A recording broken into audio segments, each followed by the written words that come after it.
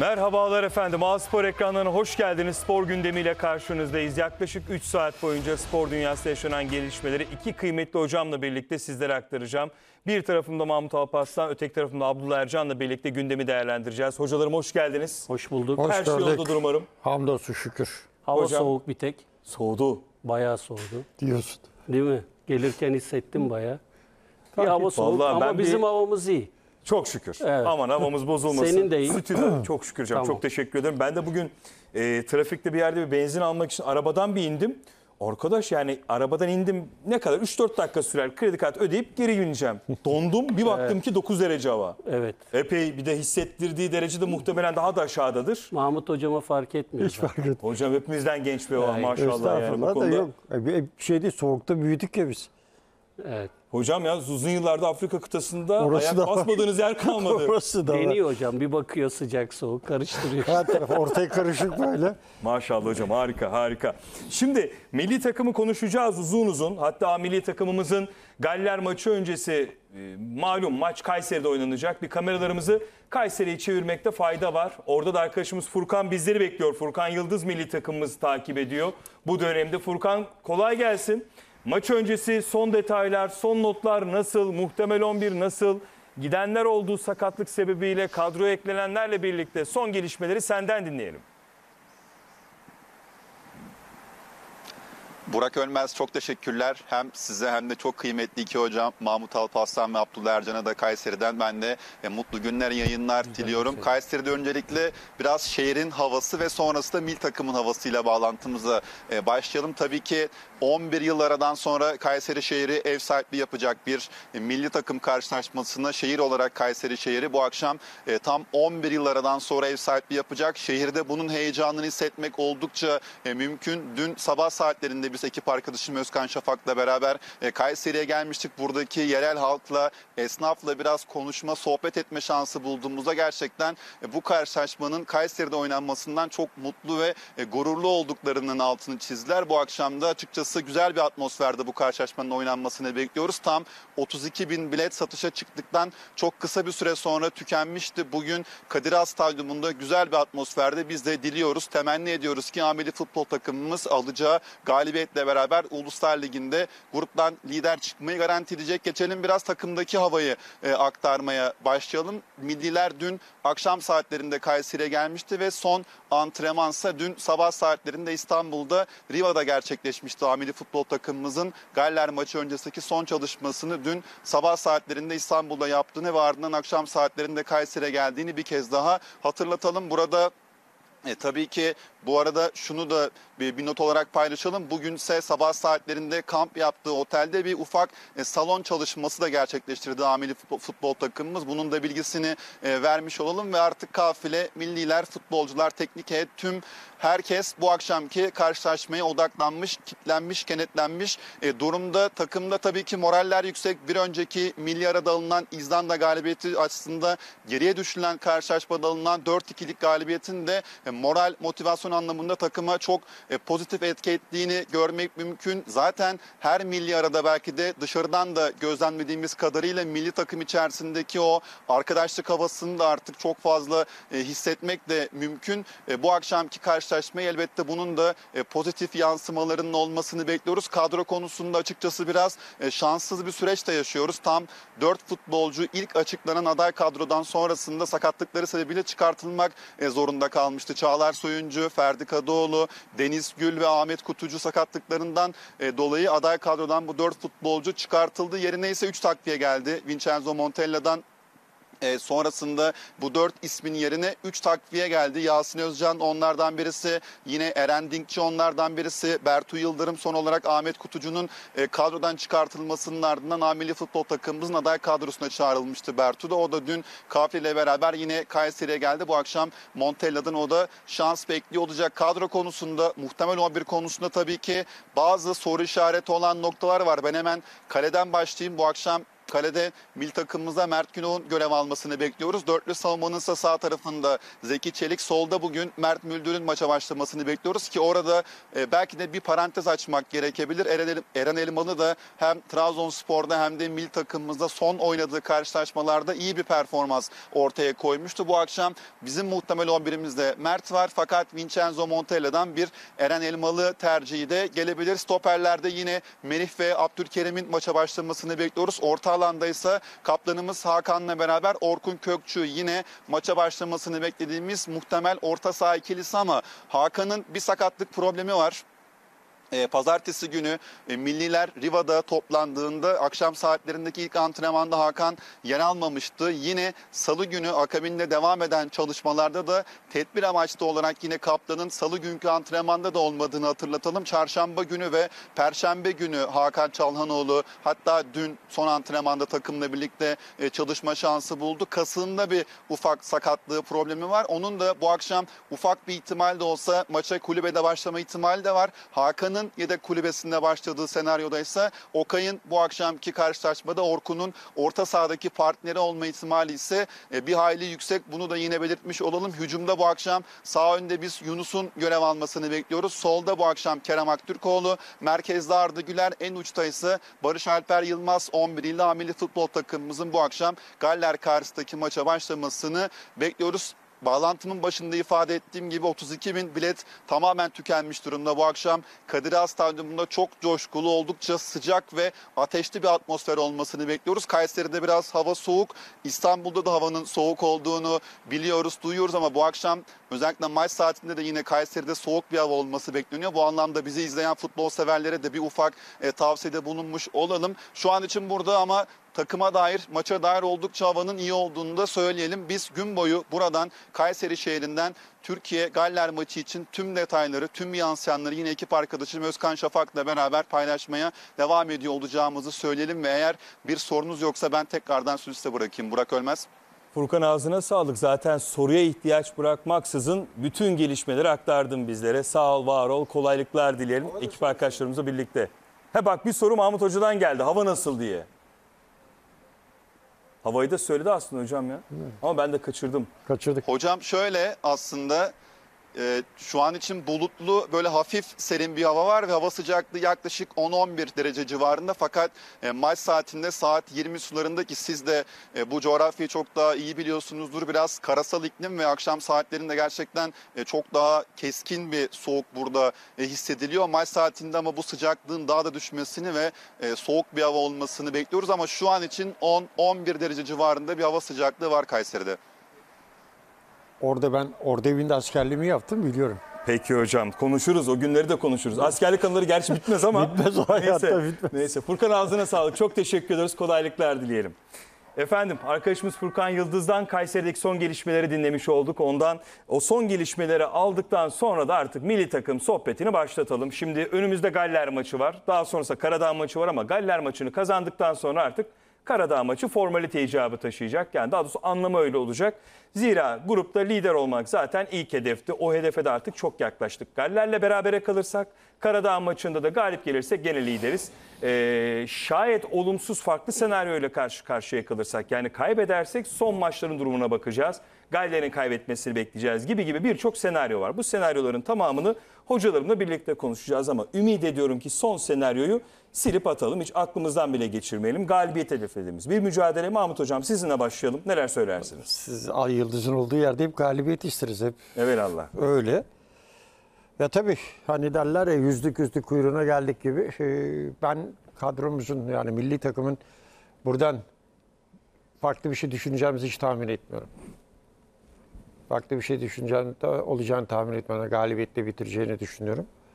Yani e, inşallah e, fazla zorlanmadan, sıkılmadan, etmeden e, maçı bitiririz. Karadağ'da senin dediğin gibi orası bir turistik se- e, seyahat olur ama gerçi İnşallah. milli maçlar hiçbir zaman için o şekilde görmemek lazım. Puan puandır. Ee, çünkü ay yıldızı taşıdığınız her yerde hep de başta da söyledik ki galibiyet bekleriz. Önemli olan kadro nasıl çıkacak, rakip nasıl oynayacak, oradaki gibi mi oynayacak bize yoksa oyun düzenlerini değiştirecekler mi? Biz kendimizi biliyoruz nasıl oynayacağımızı. Üç aşağı beş yukarı hemen hemen belli. söyleyeceğim de onları bilmiyoruz rakibi. Dikkat etmek lazım yani. E, bir de tabii Kayseri soğuk bir iklim. Tam onların da istediği gibi bir iklim.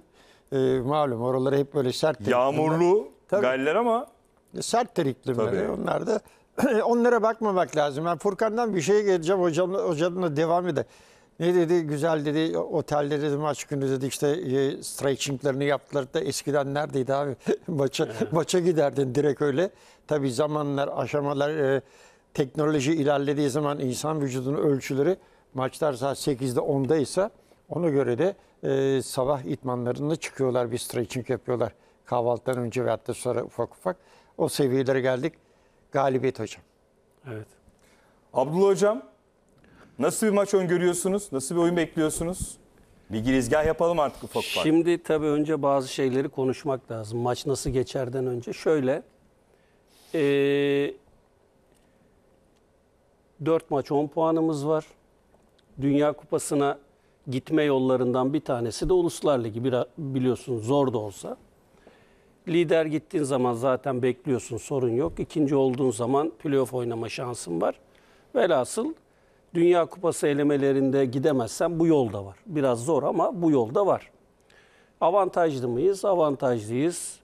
Ee, formda oyuncularımız var mı? Hakikaten sayı olarak bayağı var. Öncelikle onu söyleyebilirim. Tabii e, ilk maçı düşünürsek e, hoca muhtemelen hem izlemiştir hem izlettirmiştir. Orada bayağı sıkıntı çekmiştik. Özellikle ilk yarısı iti- itibariyle hatta 70 küsürüncü dakikada da 10 kişi kalmıştık. Maçı 0-0 zor tamamlamıştık. Bunlar da Doğru. gerçekler. Tabii strateji ne olmalı? Bir kere Burak şöyle bakmak lazım. Artık günümüzde özel milli maç sayısı yok kadar az. Çünkü takvimde yer kalmadı. Ee, onun için e, bizim mutlaka kazanamazsak kaybetmeyelim mantığıyla bu maçı oynamamız lazım. Nedeni şu, e, rakibimiz de muhtemelen 8 puan diyor ki ben de Türkiye'yi yenersem 11 yaparım. Deplasmanda İzlanda'yı yenersem grup lideri olurum. Onun için tabii ki kazanmak için oynayacağız. Orada bir sıkıntı yok ama bir de bu şöyle oyunun devamında e, riske edecek takım biz değiliz. Riske edecek takım aksine Galler. Ki Galler'le oynadığımız maçlar genellikle keyifli geçmiş ve kazanmışız iç sahada. Böyle de bir geçmişimiz var. E, tabii merak ettiğim konulardan bir tanesi hocanın Sayın Montella'nın formasyon olarak nasıl bir dizilişi tercih edecek? Bir muhtemelimiz var. Yani artı orada da şöyle bir gerçek var. Hangi oyuncuları tercih edeceğiz? Özellikle defansın kanadında ve merkezde. Yönetmenimiz Aslı'dan rica edeyim. Muhtemel 11 ekrana getirirsek o 11 belki bize bir ışık tutabilir hocam. Tamam. Onun Ee, üzerine konuşalım. Tabii memnuniyetle ki muhtemel 11'imiz de muhabir arkadaşlarımızın istihbaratıyla ortaya çıkan bir muhtemel 11. Genelde de Beklerde tutturuyoruz. Zeki ve Mert Müldür ikilisi. Stoper tandemi Abdülkerim ve Merih. Kalede zaten Mert Günok. Orta saha kurgusunda Orkun'la Hakan ikilisi. Merkezde Arda, kanatlarda Kerem ve Yunus. İleride Barış ama tabii bu dizilimde sürekli değişen bir hücum hattı da var. Yani Barış zaman zaman kanala şey kanata doğru devriliyor. Kerem merkeze doğru geliyor gibi gibi ya da tam aksi Yunus'ta oluyor. Tabii şöyle e, bir de e, kullandığımız ve kullanmadığımız cezalı oyuncular var. Ama burada iki tane kritik oyuncu var. Bir tanesi Ferdi ki bence milli takım için çok özellikli bir oyuncu, önemli bir oyuncu. Artı öbürü de Kenan cezalı biliyorsun. Zaten Ozan'ın ön çapraz bağı yok. Şey bağ sakatlığı var. Yusuf keza öyle. Yani biz ilk maçı şöyle bir gözlerimin önüne getirdim Burak. O zaman beşli oynamıştık. Geriden oyun kurarken büyük sıkıntı yaşamıştık. Çok pozisyon vermiştik. Vesaire vesaire. Şimdi tabii iç sahada oynuyoruz. Galip gelirsek kimseye sormadan e, Uluslar Ligi'ni lider bitiriyoruz. A Ligi'ne katılıyoruz. Bunlar hep bir motivasyon aracı. Kesinlikle. Artı son zamanlardaki milli takımın havası gayet iyi. Bunu da söyleyebilirim. E, bir de Kayseri, Konya bu şehirlerde milli maç havası hakikaten biraz daha özellikli ve farklı oluyor. E, ambiyans gayet iyi oluyor. Oradaki e, halkımızın gösterdiği destek çok üst seviyede oluyor. Tabii bütün bunları düşünürsek maçın favorisi biziz. Ama yine söylüyorum kazanamazsak eğer kaybetmemek çok kıymetli. Çünkü tamam Karadağ'ın hiç bir şansı yok ama şöyle düşünelim. Beraberlik halinde ikincilik için İzlanda'nın bile şansı oluyor. Neden 4 oluyor? puan da İzlanda. E, Kazansa İzlanda- 6 biz 10 puan. Hayır kazanırsa 7, şey 7, puan yapıyor. biz 10 puan. Biz 10 biz 11 yapıyoruz beraberlik halinde. İzlanda'nın ikincilik için şansı bile oluyor. Dediğim gibi bazı merak ediyorum. Formasyon ne olacak? Ha, siz İzlanda ile Galler'in ikincilik için çekişmesinden Evet, ben de evet, bir an bizi Galler karşısında mağlup Yo, olup ben- ikincilik yarışı bizi doğru itiyorsunuz zannettim. Tabii tabii. Son maç İzlanda Galler. Tabii, Galler'in tabii. evinde. Bir de biliyorsun e, İzlanda Galler maçı 2-0'dan 2-2'ye geldi. Orada enteresan bir oyundu. Kalede Mert'i mi tercih edecek hoca Uğur şeyi Uğurcan'ı mı tercih edecek? Kenar bekler olarak kimi tercih edecek? Bunlar bugün hakikaten oyunun iyi veya kötü oynanmasında belirleyici etkenler. E, ön tarafa baktığım zaman hakikaten formda bir ön taraf var. Yunus var. Galatasaray'da çok formda. Keza Kerem Benfica'da. Orkun'la Hakan oraya oldu. Yani hoca artık orada ikiliyi doğru bulmuş gibi veya istediği ikiliyi oturtturdu. İşte Arda'nın süre almaması bizim için bir dezavantaj. Çünkü hakikaten Arda süre alsa hem güven açısından hem fiziksel anlamda daha iyi performans sergileyebilirler. Ee, ama sonuç itibariyle dediğim gibi milli takımların son haftadaki havası, son milli maçlardaki havası çok iyi. Ee, ama ben şöyle bir maç bekliyorum. Ee, Galler'in de kazanması gerektiği bir maç olduğu için bol pozisyonlu bir maç bekliyorum. Onun için dediğim gibi yani burada ana plan kazanmak kabul ediyorum. Türk milli takımı her maçı kazanmak için oynar. Ama grup stratejisinde de kazanamıyorsan kaybetmemek de bugün çok önemli. Sağ olsun Hüseyin abi de bizi izliyormuş. Hüseyin Özkök. O da hemen sıcağı sıcağına şey bilgisini paylaşmış. Yani grup ikinciliği şu anlamda önemli. A liginde e, gruplarda üçüncü olan takımlarla onlar düşmeme ikinci takımda çıkabilme adına Aynen. playoff oynayacak. Playoff Aynı durum bizim grup için de geçerli. Bizim de üçüncümüz yani sadece bizim değil B liginin üçüncüsü C. düşmemek için C liginin ikincileriyle playoff oynayacak. Aynen öyle. Orada da başka bir değer var. Hüseyin abiye de buradan selam olsun. Hocam 11 ekrana getirdik muhtemel 11'i. Sizin bu 11 ışığında yorumunuz ne olur? Bu dizilim, bu oyuncu grubu.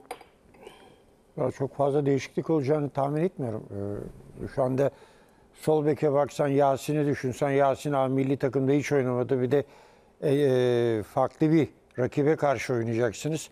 Çünkü onlar da bize karşı oynadıklarında hoca değişikliği olmuştu. Format değiştirdiler. Üçlüden döndüler. Avrupa Şampiyonası'nda oynadıklarında çok farklı bir e, farklı bir galler izlemiştik bize. Ben büyük olasılıkla bu şekilde hemen hemen bir defa birbirini tanıyan oyunculardan kurulu ne yapacaklarını çok iyi bilen bir müdafaamız var. Ha, önemli olan bizim burada e, tekrardan barışı çekip rakibi üzerimize çekip kontratak mı oynayacağız yoksa biz mi oyunu kuracağız? Onu bilemiyoruz yani çoğu maçlarda biliyorsunuz hep rakibi çekiyoruz üzerimize kontratak oynuyoruz. Evet. Ve ona da yatkın bir takımımız var. Şu ön hattı Kenan'ı da eklersek buraya tabii Kenan bugün yok. Ya ben Avrupa değil e, çok yayınlarda da bunu e, anlattım tekrardan söyleyeyim. Dünyada gol atamayacağı takım yok. Ama her takımdan da gol yeriz. Zaman zaman müdafada o kadar pozisyon hataları yapıyoruz ki onlara da çok dikkat etmemiz lazım. Ee, işte hep liglerde de söyleniyor işte arkaya adam kaçırılıyor şudur budur bilmem ne bunları konuşuruz da o parselasyonu bir türlü milli takımımızda da var bu. Çıktığınız zaman kapatmalarda biraz sıkıntılar çekiyoruz ama e, Galler tabii e, nasıl söyleyeyim dinamik bir takım. Yani biz kendimizden önce Galler'in bize karşı ne oynayacağını bilmemiz lazım. Agresif mi oynayacak? Bize önde bir baskı kuracak. Çünkü baskı kurduğumuz zaman biz falsoları veren bir ekibiz. Sadece milli takım düzeyinde değil, e, lig takımlarının düzeyinde rakiplerse baskı kurduğu zaman topu çıkarmasında sıkıntı çekebiliyoruz. Ama e, bunun haricinde büyük olasılıkla bu. Çünkü sağ tarafta şöyle bir gözümün önünden geçirmeye çalışıyorum. Yunus'un haricinde başka oynayacak yok. Eksiklerimizden kaynaklı da. Yani e, Orada zaten İrfan da yok hocam. Efendim? Evet. İrfan da sakat ya. Yani Kenan anda da olmayınca Şu anda e, bizim buradan başka bir oyuncu e, kuruluş kurgumuz e, çıkacağını tahmin etmiyorum. Tek şey kaldık, Barış'a kaldık santrafor olarak. Yok Ar- orada Semih'i kullanabilir. Eğer Arkasındakileri e, tercih tabii olarak- internasyonel olarak Bertu daha Kana- sonrasında çağırdı aday kadroya. Bertu Yıldırım'ı da dahil etti. Belki onu da kullanabilir ama Şöyle noktada- düşünmek lazım tabii. O- O var bu var çağırmak falan değil de önemli olan internasyonel oyun düzeyi farklı. Sizin Türkiye Ligi'nizde devamlı oynamakla internasyonelde oynamak arasında farklar var. Bir de önemli bir maça çıkıyorsunuz burada. Ya oradaki sizin atacağınız top, atacağınız dripling, e, oyunda rakipleri ne şekilde oyunu süzmesi bunlar çünkü e, uzun dönemden beri üst seviyede oynuyorlar. Şu öndeki oyunculardan yola çıkarsak. Her biri ayrı bir yıldız canım kendi çapında. Efendim? Her biri ayrı bir yıldız kendi Yani çapında. şimdi, hocam şu e, bir tabii- gerçek. Hani internasyonel seviyeden bahsettiniz ya. Hatta geçen bir programda sizle de konuşmuştuk hocam bu konuyu. Eskiden milli takım üç büyüklerden biraz da Trabzonspor'un katkısıyla birlikte dört büyüklerden kurulurdu. Ama artık futbolcularımızın çoğu dünyanın belli başlı takımlarında yıldız olarak görev alınca ve bir de yabancı kural da tabii bunda etki. e, dediğiniz gibi uluslararası takımlardan kurulu bir milli takım görüyoruz. Şöyle bakarsak öyle diyoruz da biz dışarı verdiğimiz oyuncular belli. Zaten öyle Orkun, Hakan, Mert Müldür orada yetişip gelenler. Kenan orada yetişip gelen. Biz onlara bir şey vermedik. Onlar bize bir şey veriyor. Hani İşte internasyonel seviyede haklısınız yani, biz demeye Abdü- çalışıyorum. ay, Kerim gibi, e, ne bileyim Yunus gibi bizler yetiştirip oralara gönderdiğimiz zaman Ya da Zeki gibi. Z- Yani Zeki gibi. Ama öbürleri zaten orada internasyonel ve direkt kendileri takımlar ve kaptanlığa kadar yükselmiş oyuncular. hocamın dediği tempo ile ilgili galiba. Ben tabii tempo onu Tempoyla- bilmiyoruz şimdi. Çünkü yurt dışında oynayan oyuncuların temposunun daha yüksek olacağını herhalde anlatmaya çalışıyor hocam. Hocam zaten onlar hep öyle. Onlar hep bizim bizimkilerden bir, e, iki tık, üç tık daha öndeler. E, Çünkü Ülke devamlı maalesef liglerinde gerçeği. maalesef liglerinde bizden daha fazla tempolu ve her hafta tempo yapan takımlara karşı oynuyorlar. Ama milli takıma geldiğiniz zaman burada şimdi onlar da bir e, toplama bir takım. İngiltere'de orada burada oynayan oyuncular var. Bizimki gibi. Biz burada kendi oyunumuz hemen hemen aynı. Yani Montella bize bir oyun şablonu sundu. Onun da dışına çıkmıyor. Biz burada ne kadar şablonda Barış'ı santrofor gibi koysak bile gene herhalde çekecek 4-6-0 mı? gibi Ya o gözükeceğiz. 4-6-0 da çok enteresan bir değiş ya. Aslında bizim baktığımız zaman 3 tane forvet oyuncumuz var. Santraforsuz sadece 4-6-0. Yoksa forvet hattında her biri forvet hocam. Şimdi şöyle düşünüyoruz Ama o, tabii. o, o zaman santraforsuz algılanıyor dediğin gibi 4-6 gibi ileride kimse oynamıyor. Aslında bizim 3 tane forvet hattında hocamın lafını var. kessin de aslında Montella'nın yani oynatmak istediği bence ya beraber atak beraber savunma. Toplu hücum, toplu müdafaa bir Hollandalıların oynadığı gibi var. zamanında. Orada santrofor profilindeki oyuncunun bence çok kimliği önemli değil. Yani zaten bir santrofor üzerinden bir oyun da oynamıyoruz. Zaten bizim bizim klasik bir santroforumuz olmadığı için klasik yani herkesin bir En atıyorum, son örnek Burak Yılmaz. atıyorum Burak Yılmaz işte Semih tam klasik bir santrofor örnek yani o tarzda bir santroforumuz olmadığı için buralardan bir şeyler çıkartmaya çalışıyor. Haklı adam da haklı yok çünkü santrofor yok. Ülkemizde santrofor işte gençler çıkarsa onları ne kadar biz fazla e, oynatabiliyoruz onlar e, farklı bir konular. Biraz da bu oyunu seviyor hocam diziliş olarak. Ya Ya, o hoca işine bu geliyor. oyunu oynatmayı biliyor ve seviyor bence. Neden hemen bağlayayım? Adana Demirspor'da da bunu oynatıyordu. Çünkü bu oyunun nasıl oynanır olduğunu biliyor. Ve hakikaten orada çok iyi oturtturmuştu. O oyunu bildiği için bizde de santrofor yokluğu da denk geldi aksine. yani. yani şimdi şöyle Ya e, tabii çok tezat. Montella'da forvet oyuncusu. Santrafor. Adamın da bunsuz A oyunu tercih etmesi. A, A gruba çıktığı zaman, A grubumuza çıktığı zaman bu oyunlar tabii farklı bir yerlere gidecek. Daha farklı bir evrim geçirmeniz lazım. Tabii. Tabii Oralarda- rakipler de güçlenecek. Tabii rakipler farklı, santroforsuz mu, santroforlu mu o vakit tartışırız ama e, hocanın da söylediği gibi çekip üçlü birden çıkıyor. Bak tekrar söylüyorum. Bizim takımımız dünyada hangi takım olursa hepsine gol atar. Ve Hocam gol zaten gol de atıyoruz. Atarız ve hepsini atarız. Öyle bir e, oyuncu kalite bir önde bilhassa var. Ama e, işte rakipler biraz daha güç seviyeleri farklı yere gittiği zaman o vakit oyun farklılaşacak. Önemli olan bugün bizim e, hoca e, Abdullah Hoca şeyi verdi. E, ligi söyledi e, grubu oradan bizim hiçbir şeylere girmeden plan plan yapmadan. Tabii canım, galip gelip direkt çıkmamız ama lazım. şey önemli. E, rakibin bize karşı ne şekilde oynayacağı önemli. Be- Ya ben ben nasıl oy- yani oyun oynayacakları konusunda bir fikrim var hocam söyleyeyim. Şimdi biz bir kere ilk maç özelinde neden beşli oynadık? İşte Uluslar Ligi'ne, B Ligi'ne başlıyoruz. Kaybetmeyelim. İşte defansif önlemleri biraz daha fazla düşünelim gibi bir e, anlayışla ve beşli bir oynadık. O Çok gün kısa girebiliyor. Avrupa Şampiyonası'nda da öyle oynadık. Beşli bazı maçları bazı- oynadık doğru katılıyorum. Ama hocam o- o- çok pozisyon verdik hatırlıyorsan. Ama- Orada verdiğimiz pozisyonları şöyle bir gözümün önüne getiriyorum. Verdiğimiz pozisyonlar biz geriden oyun kuruyorduk. Adamlar ön alan baskısı yaptı, kaptırdık, kaptırdık, pozisyon verdik. Top kaybı yaptık, geçiş yakalandık. Bugün de aslında e, Galler'in ne oynayacağına karşı bunları düşündükçe bir ak- e, aklınızda bir fikir ortaya çıkıyor. Ben 8 puanlı bir hoca olsam Belami'den ki benim pro lisans arkadaşım gelsem Kayseri'ye kazanmaktan başka çarem yok. En kötü kaybetmemek üzerine düşüncem olsa ben ilk maçtaki oyun anlayışına benzer bir oyun oynarım. Zaten diziliş olarak 4-2-3-1 oynatıyor ki değişti Galler. Gel- Galler'e hoca olduktan sonra Değişti. çok Galler'in oyunu değişti. Üçlüden döndüler dediğin gibi İkili, hocam. 4, 2, 4, 3 o şekilde oynuyor. Yani muhtemelen ben biraz daha bizim yarı sahada oynamak üzerine bir oyun planları yani biraz daha bize kendi e, kalelerinden uzak bir oyun planı üzerine bir plan bekliyorum. Ha bunun bizim lehimize avantajları olur mu? Yüzde yüz olur. Alanlar genişlediği takım zaman bizim takım Kerem'le, Uzun Barış'la, toplarla. Ke- Yunus'la ki çok formda bayağı iyi bir e, şey oyun oynayabiliyor. Avantaj olur. Ki şey de var hocam atan oyuncular da mesela orada Hakan çok kritik bir oyuncu. Herhalde. Baskı altında hem iyi kullanabiliyor hem gösterdiğin zaman e, offside'a düşürmeden de atabiliyor. Orkun da çok iyi. Direkt gidiyor Orkun. Yani Orkun da keza dediğin gibi yani orta sahadan hem şut anlamında hem pas şiddeti anlamında bayağı destek veren bir oyuncu. Onun için ben e, bekleyen değil de biraz daha ön alanda oynamaya çalışan bir Galler bekliyorum.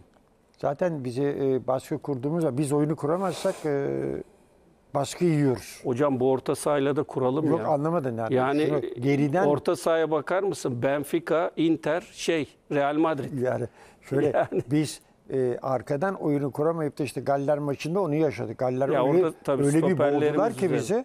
Ya, geldi gelecek. Kaleci bir taraftan işte vuruyorlar yandan geliyor. Ya, çıkamadık hiçbir şey yapamadık. İkinci devre biraz toparlamaya çalıştık. Hatta e, kırmızı karttan sonra biz pozisyon bulduk. Daha, evet bravo. kırmızı karttan sonra bir iki tane pozisyon Barış'ın yakaladık. evet doğru söylüyorsun. Ama e, dediğin gibi oynarlarsa e, arkadaki o geniş alanları e, bardakçının o diagonal pasları falan var uzun pasları. Onları kullandığı zaman çok geniş işte Barış oradan Yunus iş, içeri diagonal girebilirler. Tabii biz burada söylemesi her türlü şeyleri konuşuyoruz da çüve çıktığın zaman abi rakibin o düdükle birlikte senin oyun planı, rakibin oyun planı 5 dakika içinde belli oluyor neler olabileceği. Ama şeye göre daha farklı bir takım. İzlanda ile Karadağ'a göre. Hem tempo olarak daha yüksek hem önde oynamayı seviyorlar hem etkili de oyuncuları var. İzlanda'da Disiplinli tekrardan takım bir hocam. Ha? Disiplinli takım. İlk maçta da İzlanda'da. Oyun İzlanda'da hiç bir kopmuyorlar. tekrardan yeni bir yapılanma o bir, bir İzlanda vardı. Evet. Bu fırtına estiriyordu böyle İzlanda. O İzlanda dağıldı tabii yaş faktörleri. Şimdi adamlar tekrardan yine 500 bin nüfuslu bir ülkeden bahsediyoruz. Yani adamlar şey e, Bizde neredeyse bir mahalle. abi ithal ediyorlar. İstanbul'da. Oyuncu ithal ediyorlar. Bak düşün oyuncu gidiyor e, şeylere yurt dışına ve iyi takımlardalar. Ee, ya bizim e, sağ olsun hocanın da dediği gibi yurt dışında oynayanlar bize epey bir iğme kazandırıyor. Epey bir ve hocanın elinde e, güç, e, güçlendiriyor, rahatlatıyor. Ya hocam bir de biz işte 2002'de gitmişiz Dünya Kupası'na. E bir de gidelim 2026'da Herhalde yani olalım orada. Maalesef Dünya Yani o Kupalarında çok Amerika, yokuz. Kanada, Meksika'ydı galiba. Orada biz olalım. Bir de Meksika, Amerika, bir de Kanada hocam üçlü. 32 gidiyordu. Şimdi 48 gidiyor. 48 Hep takım şansın var, şansın var. devamlı Tabii. FIFA, UEFA ka- şey yapıyor. 16 Avrupa takımı gidecekti yanlış hatırlamıyorsam. Bir daha bir teyit ederim. Ee, o 16 içinde de olu verelim artık bir zahmet. Tabii tabii yani. Bir de bu sefer iki yol var Burak. Bir elemelerden gitme şansın var. Bir de Uluslar Ligi. Bir de Uluslar Ligi var ki e, yani iki tane de yol veriyor ki e, bizim artık bir olmamız lazım. Zaten Avrupa Şampiyonası'na biraz da format 16 desteğiyle Avrupa takımı aynen yanlış hatırlamıyorum. Avrupa Şampiyonası'na hocam format desteğiyle artık gediklisi olmaya başladık. Yani. Renk de katıyoruz. Geçen sene ülkemizdeydi Avrupa Şampiyonası biliyorsun. Almanya'daydı. E bu sefer de Amerika. Ülkemizdeydi deyince ben de diyorum hocam acaba nereye bağlayacak konuyu? Doğru Almanya bizim ev Almanya, sahibi gibi. e, değil mi yani? gidip gördük maçları kısmet Signal oldu. hocam bilir Signal'de Kırmızı 70, beyaz der ya. 70 bin kişi oynadık işte. Tabii. Yani biz Amerika'ya da renk katarız. Tabii orada da Gerçi Hocam bizi bizim sevmiyorlar gidip de ama renk katmadığımız dünya ya. Organizasyon bir Fransa'daydı. Orada da renk olarak turnuva sonuncusu olarak renk kattık maalesef. fark ki. etmez abi. Gittiğimiz her turnuvada bir her imzamızı yerde atıyoruz. iz bırakıyoruz. Şimdi yani. her gittiğin yerde sonuncu da ol fark etme. Her gittiğin yerde bir şeyler öğreniyorsun. Öğrenme hep gelişiyorsun, geliştiriyorsun kendini. Rakibin oyun formatından geliştiriyorsun. Şampiyon olan takımın oyun formatından geliştiriyorsun. Ve hatta oradaki ne bileyim disiplin olaylarını her şeyden bir şeyler öğreniyorsun. Olmak Onun için lazım hocam. Mutlaka. Abi 85 Aynen. milyon, 80 neredeyse 90'a geleceğiz ne? E bir, bir yerde de bu kadar böyle bir futbolla yatıp futbolla kalkan bir ülkenin artık evden burada televizyonlar seyretmesinler. Kimse Tarih seyretmesin. hocam tarihinin en iyi milli takım olma konusunda çok şey konuşamam. Beraber. Yani Oo. Onun için çok somut bir fa- madalya lazım favori hocam. diyemem ama tarihinin en yetenekli milli takım konusunda yani ilk üçe yazarım bu takımı. Santraforsuz bir takım yazabiliyor musunuz hocam bu anlamda? Vallahi santraforu bir kenara bırakalım. Haklı olabilirsin ama diğer bölgelerde Ya bunu da ne olursunuz yanlış anlamayın. Aman sıkıştırmak için sormuyorum. Gerçekten üzülüyorum. Neden? Diyoruz ya 90 milyona geldik artık ülke olarak. 500 bin nüfuslu İzlanda bile turnuvaya işte o meşhur tribünleriyle, Eriksen'iyle vesairesi damga vurduğu zaman. Yani üzülüyorum 90 milyonluk bir ülkede biz hala santrafor bulamıyoruz. Gene hatta bu konuyu konuşmuştuk Evet, sizinle. konuşmuş. Sol bekte bulamıyoruz. Hani sol bek bunu sol dünya beki zor, bir tür- hocam sol zaten. beki bir türlü hallediyoruz. Sağ Yani bekten sol bulamıyoruz bek hocam, bulamıyoruz. stoperden yapıyoruz. Bulamıyoruz. Yok bir tane net böyle sol bekimiz yok. Hocam İki mevki yok bak, iki mevki. Evet, yani e, dediği gibi yani bir şekilde hani çözülüyor da santrafor tam kilit adam ya hocam aradığımız. Onu bulamama hadisesini ben sadece anlamlandıramıyorum halbuki. Şimdi- de. Bir yerde bir gariplik var Bir yani. iki tane nedeni var. En baştakini söyleyeyim. Ee, genellikle Türkiye Ligi'nde oynayan büyük takımlarımızın, dört büyük takımlarının santrafor bölgesindeki oyuncularının çoğunun yabancı olması. Bu bir Türkiye'nin neden. Hepsinde bir- birinciliklerin hepsinde Türk santrafor yok. Yani genelde oradan seçiliyor ya hocam milli Yok takım. yani Türk yok. Yok mesela isimleri sen de biliyorsun Tabii ben de canım, biliyorum. hepsi- yani hepsi yabancılar. olan da zaten yedek kalıyor işte dün oynuyor gol atıyor falan filan. Yani bir neden bu Konuşacağız olabilir. bu ilerleyen dakikalarda Fenerbahçe e, Zenit'i. Bu bir, bir neden olabilir. Ha önemli bir neden mi? Önemli neden. Şimdi e, ama orası farklı bir platform. Yarışıyorlar. Burada istikrar çok önemli. Bizim mesela hala Semih'i monte edemedik en yakın örnek olarak söylüyorum aday olarak oraya. İşte Semih Hoca kullanmıyor veya dediği gibi Mahmut Hoca'nın internasyonel seviyede eksikleri olduğunu söylüyor. Oraya bir kenar oyuncusu daha önce santrofor oynamış ama net bir santrofor oynamayan Barış'ı tercih ediyor veya formasyonuna uygun olduğunu, oyun anlayışına uygun olduğu için onu tercih ediyor. Ee, ama şöyle bir şey var Burak. Alttan da ya işte Ümit takımı hemen atlar, 19'u atlar, hemen A milli takıma gelir diyen bir oyuncu da yok. Hep gelişimlerini takip ediyoruz, bakıyoruz.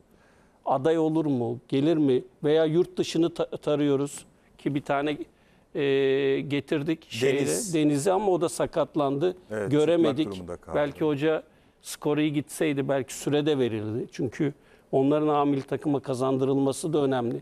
Yani En az 3 maçta oynaması lazım tabii kalıcı olmak için. Ha, tabii ba- bakmak lazım. Yani uyumu nasıl olacak, oyuna ne tepki verecek. E, sonuçta bu milli takım görüntü itibariyle herhalde 2-3 turnuva beraber oynayacak bir milli Geçen takım. gün baktık yaş ortalaması bir hayli 2000 düşük. bayağı çok, 2000 de çoktu. Sen bakmıştın evet. 2005'li de bir çırpıda 4-5 oyuncu var. Çok, çok. Ee, yani iyi bir neslimiz var. Yetenekli bir takımız. Oynarken keyif veriyoruz. Ee, formasyonu çok Türk halkı olarak kabul etmesek bile e, yani maçı bırakmayan dediğim gibi iyi bir nesil var. Yani destek vermek lazım ki bugün Kayseri'de desteğin kralını görecekler yani. Artık şey bırakmak lazım hocam ya. Bizler de dahil yani fazla konuşmamak lazım. Hocanın o oyun prensibi ve oyun prensibinde de bizi başarılı kıldı mı kılıyor.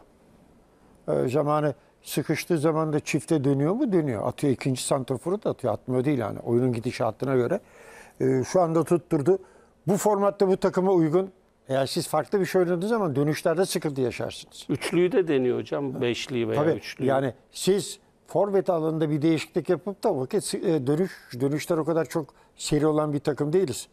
Pozisyon olarak da. Onun için e, ne uygunsa çok akıllı bir oyun düzenine gidiyor. Şu anda da tutturdu. Rakiplere de karşı onlar da Avrupa Şampiyonası'na gitti. Tamam çok fazla göze hoş gelen bir oyun sergilemedik. Biz tabii Doğru oynamaya ne olursa biz şöyle şöyle değerlendirmemiz lazım. Ya iyi futbol oynanmıyor. Neye göre iyi futbol oynanmıyor? Yani onu da bir e, masaya yatıralım.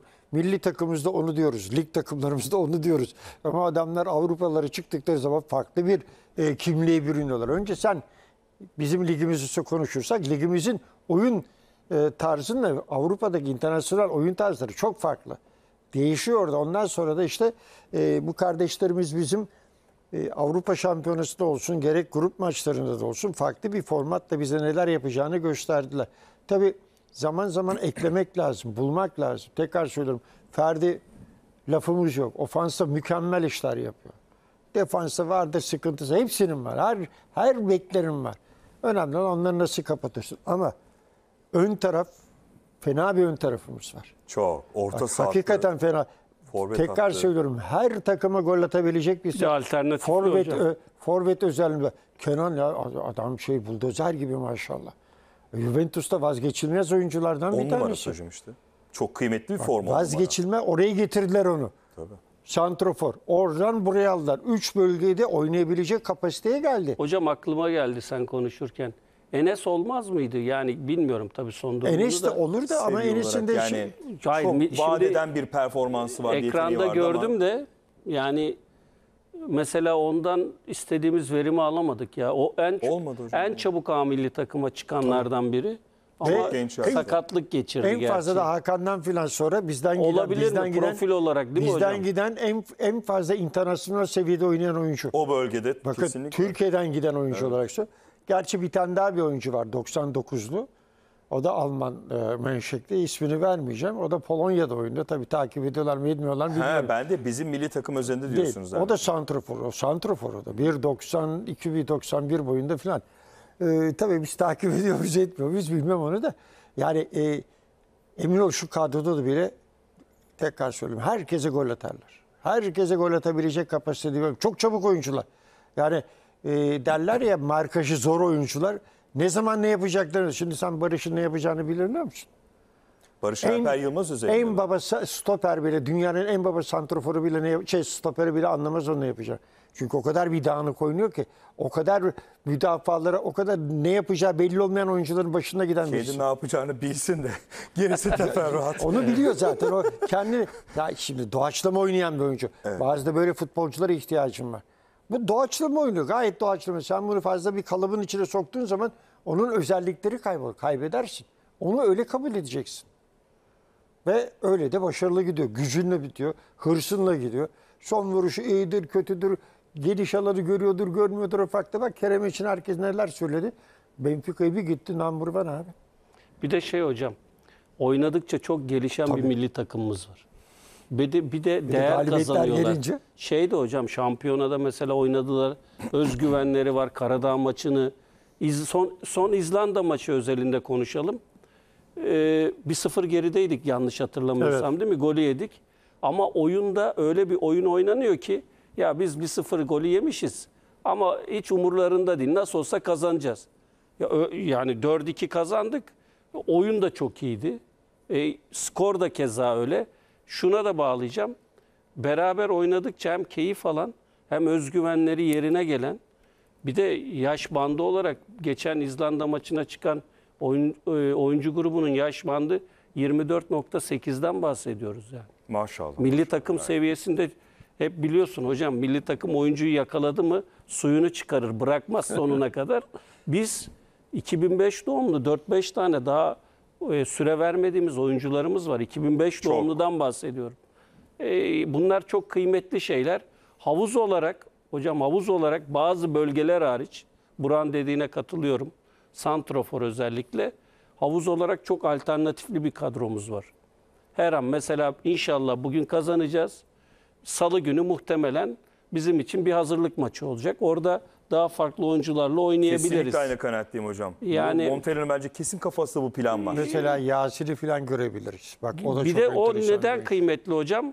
O 2006'lı. Bir galiba de Yasin. devam Bulurum edebilir şimdi. miyiz? Ne verir Özcan A diyorsun değil mi? takım? Kasımpaşa'daki. Kasımpaşa'da. Tamam. Tabii yani bunlar çok kıymetli şeyler. Bir de hocam şöyle bir şey var. Avrupa'dan da tercih olarak bizi tercih etmeye başladılar. Tabii. Bu neye kıymetli? Ya artık diyor ki adam Türk milli takımı da her şampiyonatı. Sen de biliyorsun. Evet. Biz beraber de şey yaptık. Ee, sen Galatasaray'da biz milli takımda hocam çok geldi bizim turnuvalara. Bütün oyuncu gruplarımızı bilir. Ee, Türk milli takımı şampiyonalara gidince Burak tercih ediliyor. İşte Hakan'ın bize gelmesi, Inter'de oynayan bir oyuncunun. Ya bunlar Kenan'ın keza tercih zamanı bizi tercih etmesi, Juventus'un on numarası. Bunlar milli takıma tabii. oyuncu tercihlerinde örnek Almanya geliyor, Türkiye geliyor. Ya diyor ki artık Türk milli takımı da Almanya gibi her Avrupa şampiyonasında var. E bir de ben Türk'üm diyor. Kendini Türk gibi hissediyor. Tamam diyor ben Türkiye'yi tercih ediyorum. Ailelerin de büyük baskısı oluyor. Yüzde yüz. Babaların, Yüzde annelerin yüz. Ya özellikle. Ben biz Sütümü özel- helal etmem noktasına gidiyor bazı işler. yani biz oyuncu ter, dev şey tercih getirirken o ailelerin, e, babaların, annelerin düşünceleri genellikle bizden yana oluyor. Evet, tabii, bir- Neyse Ya ki, onu neyse. duygusal tarafı ağır basıyor. Çok canım. çok eskiden mesela Allah, Bizdeki milliyetçilik gerçekten Evet. başka seviyede. Allah rahmet yani. eylesin tabiri papaz derdik ya Erhan. Evet. Erhan Bayern Münih'te ya Udaletek, şey Uğur onlar da bizim milli takımımıza geldiler. Gerçi o vakit Alman milli takımına girmen çok zordu ama çok ekstra oyuncuydu rahmetli Erhan Önal. Çok ekstra bir oyuncuydu. Yani Hocam biz onlar- Hakan'ı çevirirken e, Hakan Çalhanoğlu'ndan bahsediyorum. Babası Hüseyin ona da Hüseyin. çok selam olsun sen de tanırsın. E, o kadar dik dur ki, durdu ki e, Burak. Dedi ki Hurubeş o zaman Ümit takım oyuncu şeyi sorumlusu Almanya'nın. Evine gittiler 4-5 kişiyle psikolog dahil. İşte nasıl olursa böyle böyle.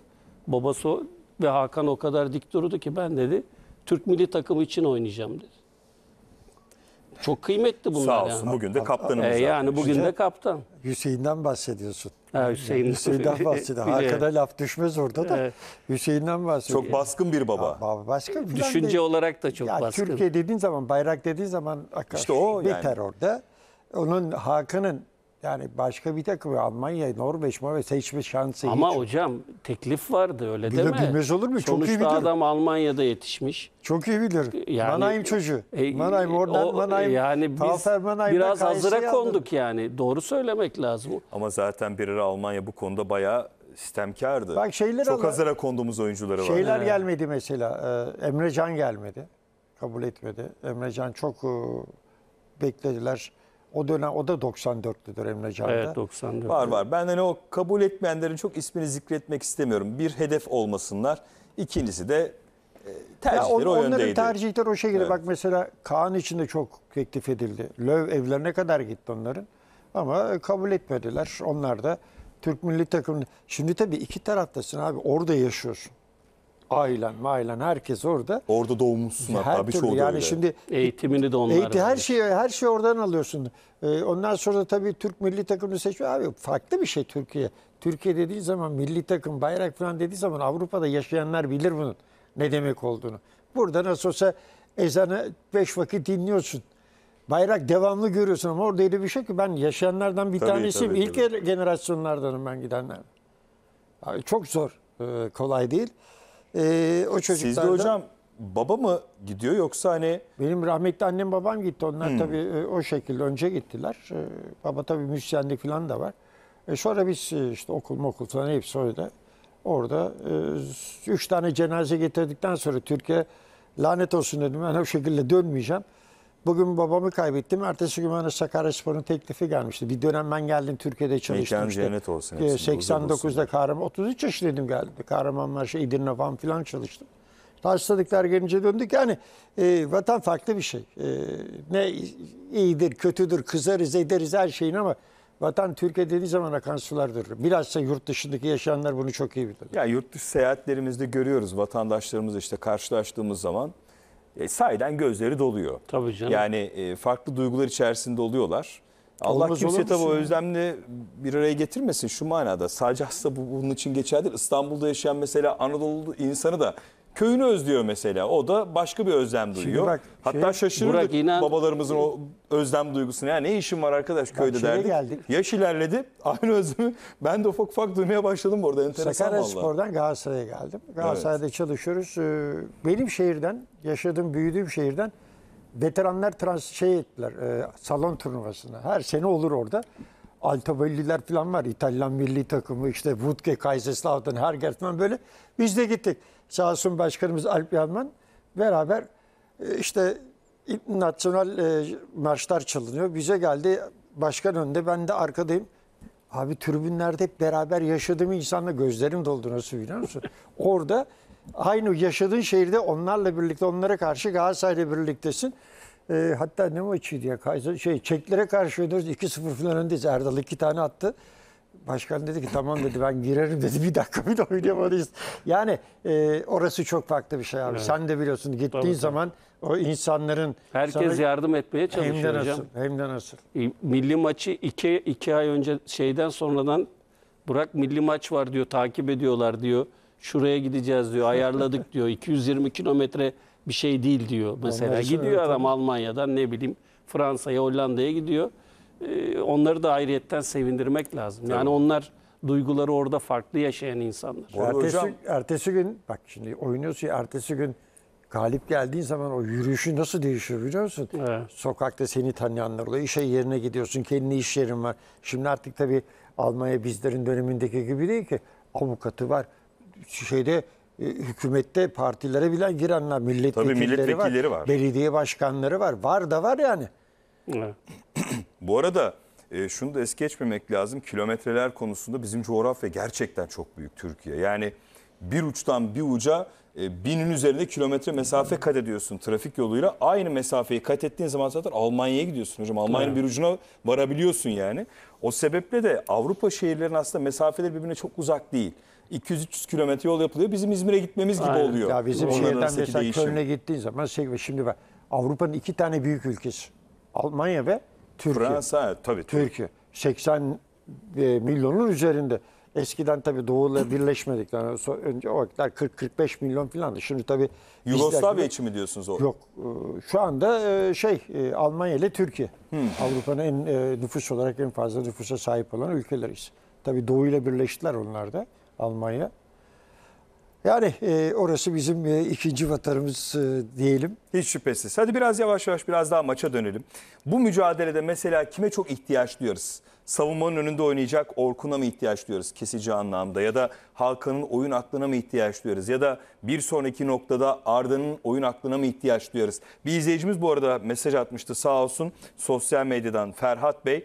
Montella hani zaman zaman Santrafor oyunda eleştiriliyor ama net bir Burak Yılmaz gibi golcüsü var da o mu oynatmıyor demiş. Çok haklı yani. yani Biz de onu biraz önce konuştuk. konuştuk zaten Evet. işte. Santraforsuz oyun oynamak durumunda kalıyoruz. Ya bir de buna Bur- Burak bunu buna kafayı çok takmamak lazım. Evet. Yani bu sonra gündem oluşturuyor. Hoca da cevap vermek zorunda kalıyor. Tabii tabii ondan uzak. Yani bu- Ha bak bir konuyu daha açacaktım hocam. O da şuydu. Ee, hani kadro kurulurken Montella'yı e, çok eleştirmemek lazım dedi hocam. Kesinlikle de katılıyorum. Şu yüzden de hani e, eleştirmemek lazım. Artık vicdanen de çok rahatız. Çünkü geçmiş federasyonların tercih ettiği teknik adamlarda ya bir aday kadro açıklanırdı ya bu oyuncu nereden çıktı derdik.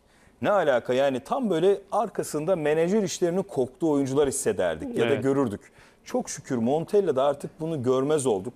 Ya Montella'dan kaynaklı ya da ona artık aklı veren arka taraftaki Hemen hemen federasyon takımlar. yetkilileri kaynaklı. Hemen Çok hemen şükür. hazır. Ben takım. biraz şeye Çok bağlıyorum şükür. hocam. Oynatmak istediği e, oyuncu profiline uygun oyuncuları al- alıyor. O yani oynatmak istediği bir oyun var.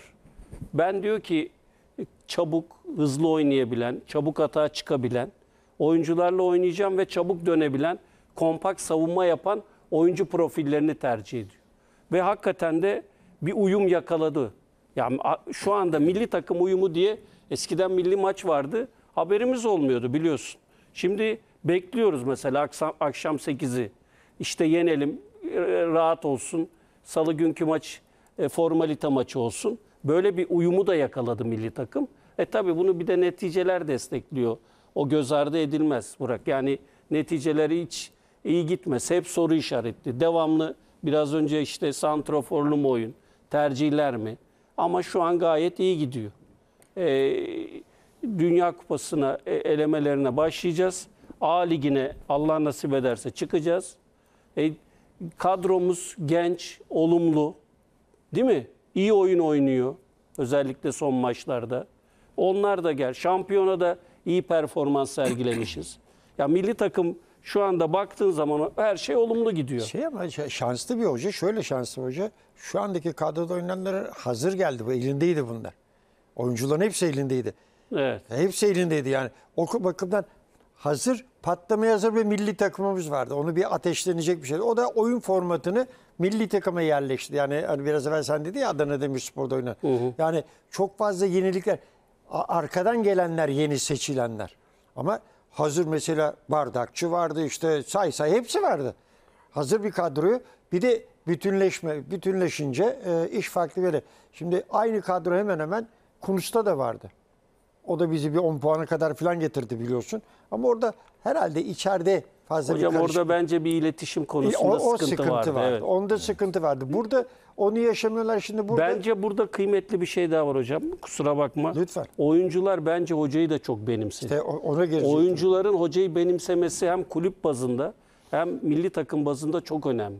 Son 30 saniye hocam. Oynanacak oyun açısından bence hocalar Montella'ya çok inanıyor. Hem adaletine hem oynatmak istediği oyuna inanıyorlar Çok kısa bence. şan- Niyetine de. şansı da hocanın şansı da lig takımlarını çalıştırıp milli takıma geldi. Evet. Konuşalım. Kısa kesme hiç gerek yok. Sadece reklama gitmem gerekiyor. Reklamın ardından sohbetimizi sürdürelim. Hatta baktım Edirne Hakkari 2000 kilometre, Edirne Strasbourg arasında 2000 kilometre. Ya böyle bir büyük bir coğrafyadayız bu arada. Bunun da sahiden farkına varmamız gerekiyor. Efendim bir reklam arası reklamların ardından milli takım sohbetimize devam edelim. Evet, Orkun Kökçü. Ee, şu cümlesi çok kritik. Yılın oyuncusu oldum, kimse konuşmadı diyor. Yani haklı mı haksız mı konusunda ortada somut bir gerçek var. Vakti zamanda Orkun Kökçü'yü çok fazla, ben şimdi 15 yıldır bu sektördeyim. Orkun Kökçü'yü sahiden çok fazla konuştuğumuzu hatırlamam. Bu bizim de biraz ayıbımız, hatamız olsun. Oyuncu da bu konuda sistem etmekte haklı. Sistemkar sözlerinde de haklı gibi gözüküyor ama e, biraz popüler kültür maalesef ülkemizde baskın. Hani büyük takımlarımız ne yapıyor? İşte büyük takımlarımızdan bir yere transfer olduğu zaman o oyuncu ne yapıyor? Taraftar eğilimi de öyle oluyor. Gurbetçiler biraz bu konuda maalesef ki arka planda kalıyor. Oh, of. Hocam en dertli isimlerden biri şüphesiz. Hocam Ya sevgili kardeşim bu tarzdaki oyuncular adam takım kaptanlığı ne kadar gelmiş şampiyonluklarla şimdi daha neyi konuşacağız? ki? 500 bin euro Hakan Çağlanoğlu. Sene 2010, 2011. Ama iyi ki de gelmemişler. Kesinlikle. Bak tekrar söylüyorum. kesinlikle. Biz onlara ne katacak bu seviyelere getiremezdik onları. Yani e, tabii oyuncunun nerelere aşama yapacağını kaydedebileceğini de görmek lazım. Türkiye'deki futbolu bileceksiniz, kulüp yapınızı bileceksiniz. Şimdi çoğu da bütün kabak kimin başına patlıyor hocam? En sonunda dönüp dolaşıp hocam hoca değil başkanın başına patlıyor. Abi başkan nereden bilir bunun nerede oynadığını başkanlar? Bilmezler. Çoğu başkan bilmez, takip etmez. Etrafındakiler vardır onların. Bir sürü danışmanları var ya futbol danışmanı. Sen başkan ya olmaz bizde genç adam yapamayız. Bizde böyle- böyle gidiyor bu işte. Sonra da buraya geldiği zaman o, o kişilerin hiçbirisini bulamıyorsunuz etrafınızda. Başkan da gidiyor, farklı bir başkanlar geliyor. Yani Maalesef burada sizin yetki verdiğiniz kişiler, bunlar da yetkili olacak ama tam yetkili olacak. Onlara güveneceksiniz. Beş taneden bir tanesini tuttursun, bir tanesi çıksın bu seviyede. İşte bak böyle para Dörtte başına koy. Olağanüstü. Sadece Türk olarak değil. Türk ve yabancı. Dünya platformunda öyle bir topçular var ki şimdi diyorlar ki böyle stoper bulunma. Oho 500 bin euro, 200 bin euroya ne to- topçular bulursun Güney Amerika'yı falan gezdiğin zaman. E İşte bak e, ben bu sabah saat 3'te seyrettim Uruguay Kolombiya maçını. Bir, bir, bir akşam önce de e, Paraguay Arjantin maçını. 21 yaşında adam oynuyor. Şey Napoli'nin topçusu. Nasıl oluyor stoper? Bulan buluyor işte. Nasıl oluyor bunlar? Onun için e, haklılar, e, doğru. Biraz oralar bizim e, arka e, şey, bahçemiz gibi gözüküyor ama ne zaman yukarı çıktıkları zaman da ya tuh diyorlar biz bunları almadık. Ya alacaksın tek değil hocam birkaç kişisini anında aynı ekolde getireceksin onlarla çıkacaksın. Veyahut da kendi yeti ama özellik ne biliyor musun? Hocam da çok iyi bilir. Önce kendi altyapına bakacaksın. Altyapında.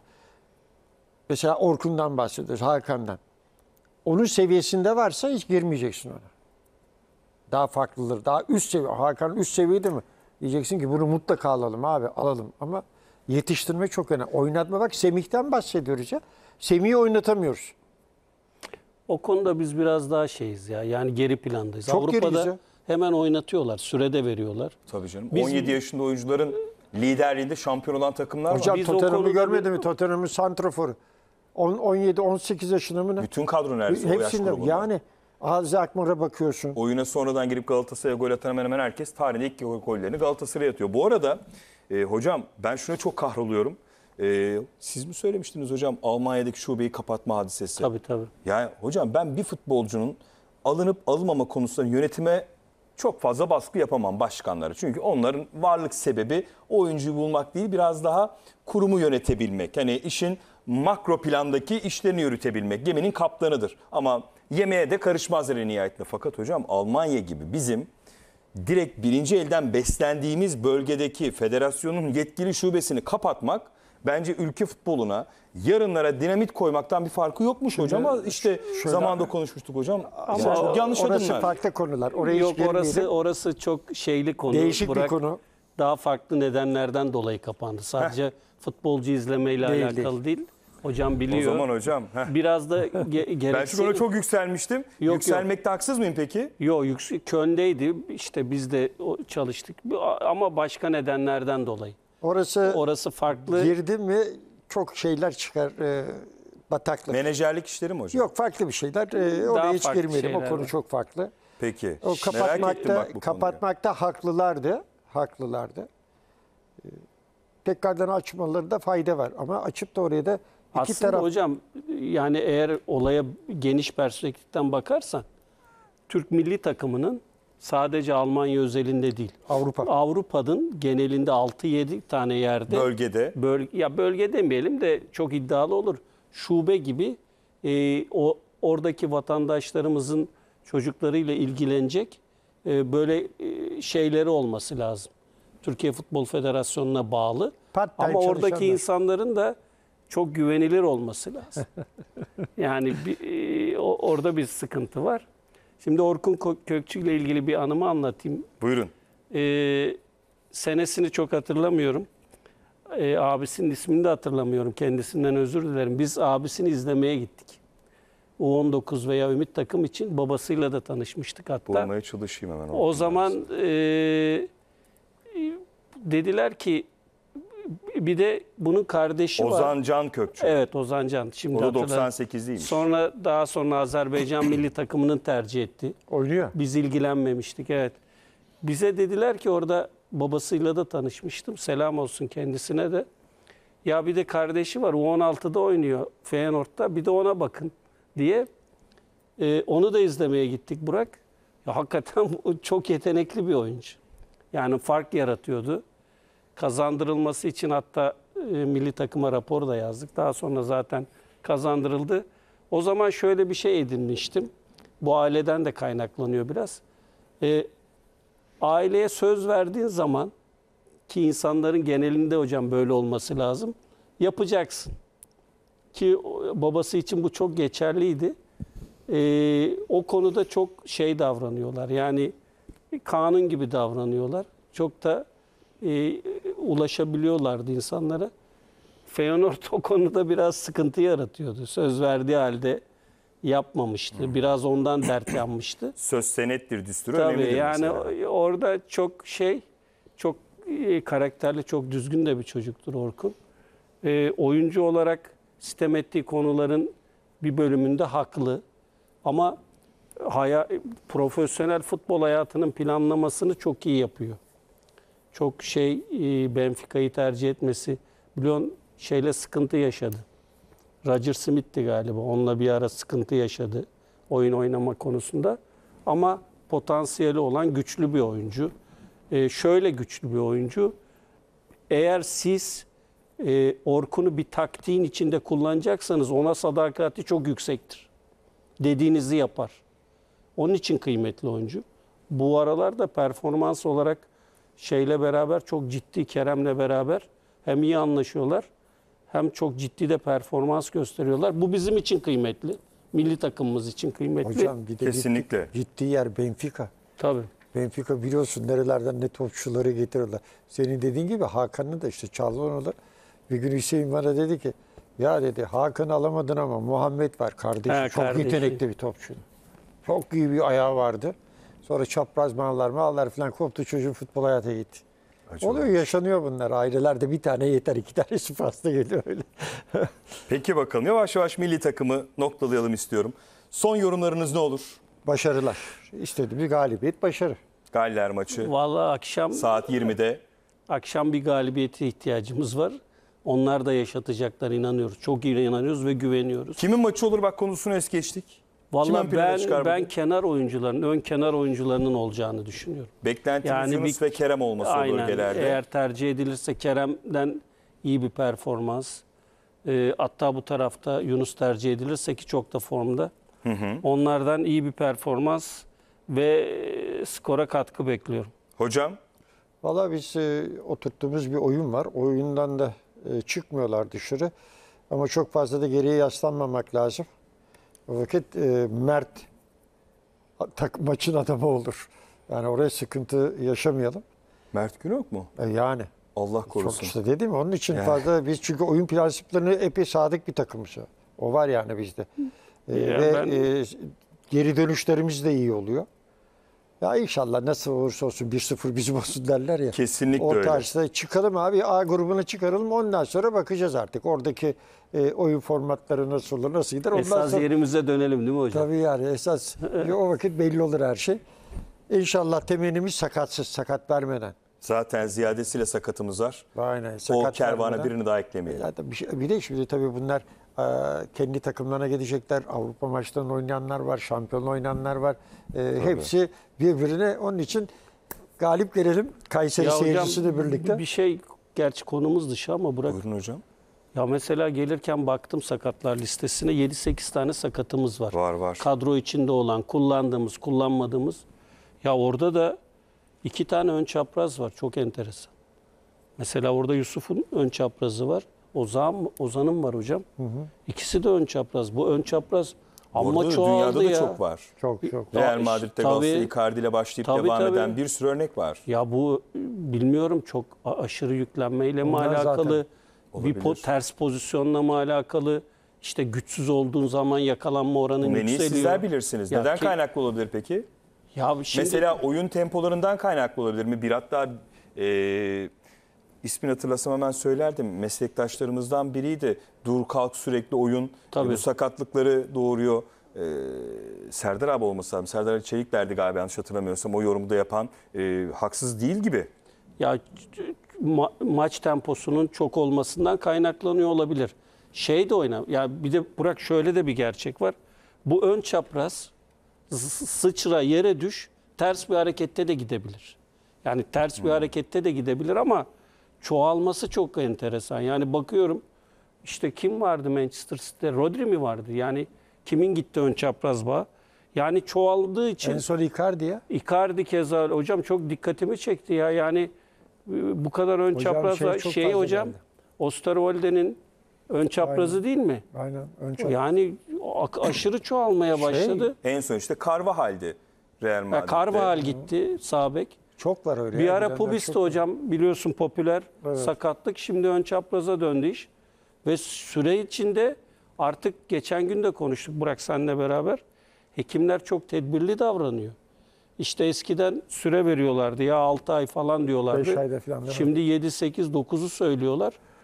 Yani hiçbir oyuncumuza, hiçbir futbolcuya Allah korusun yani. Bir de bağlara bir de menisküs ekleniyor. Geçmiş Ya olsun. zaten ön çapraz gittiği zaman Menisküs de menisküsler. Menisküs muhtemelen zarar görüyor. Yani Şey çok fazla oldu. İnsan vücudunu taşıyacağı ağırlıktan fazla taşınmaya başlandı. Şimdi seyahatler var. İstediğin kadar sen seyahatte. Oradan geliyorsun bir gün sonra maça çıkıyorsun. Ondan sonra dönüyorsun gene seyahat yapıyorsun. Gene kısa bir antrenman tekrardan. Yani o kadar çok fazla e, sporun içindesin ki bir de aktif spor bu. Yani şey ağır işçi bu futbolcular. Öyle basit bir spor dalı değil.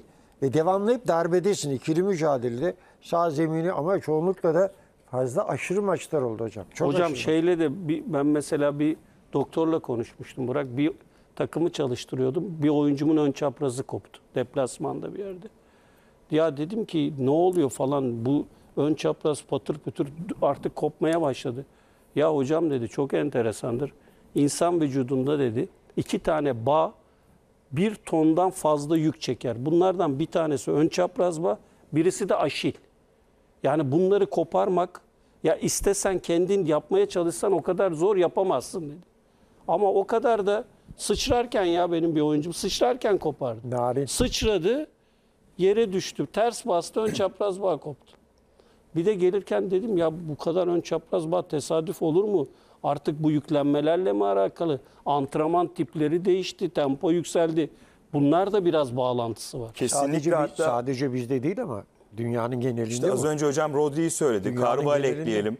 E, Icardi konusunda da Okan Buruk'un açıklaması vardı ya Okan Hoca'nın e, bir birikimin sonucuydu dedi. Sadece o pozisyondan Tabii, kaynaklı tabii. değil. Haftalar boyu dinlenmesi gereken yerde oynama isteği, o profesyonelliği onun maalesef bu günlerini doğurdu dedi. İşte bunun devamı da dinlenmek. Çok Tabii. sık maç yapmak. Şimdi şöyle- sahiden de oyuncuları tabii- patır patır Tabii biz sakatlıyor. di- dinlenme diyoruz ama e, e, öbür üst seviyedeki takımlar da hemen hemen hep aynı 11'lerle maçlarını oynuyorlar. Hep gidiyorlar.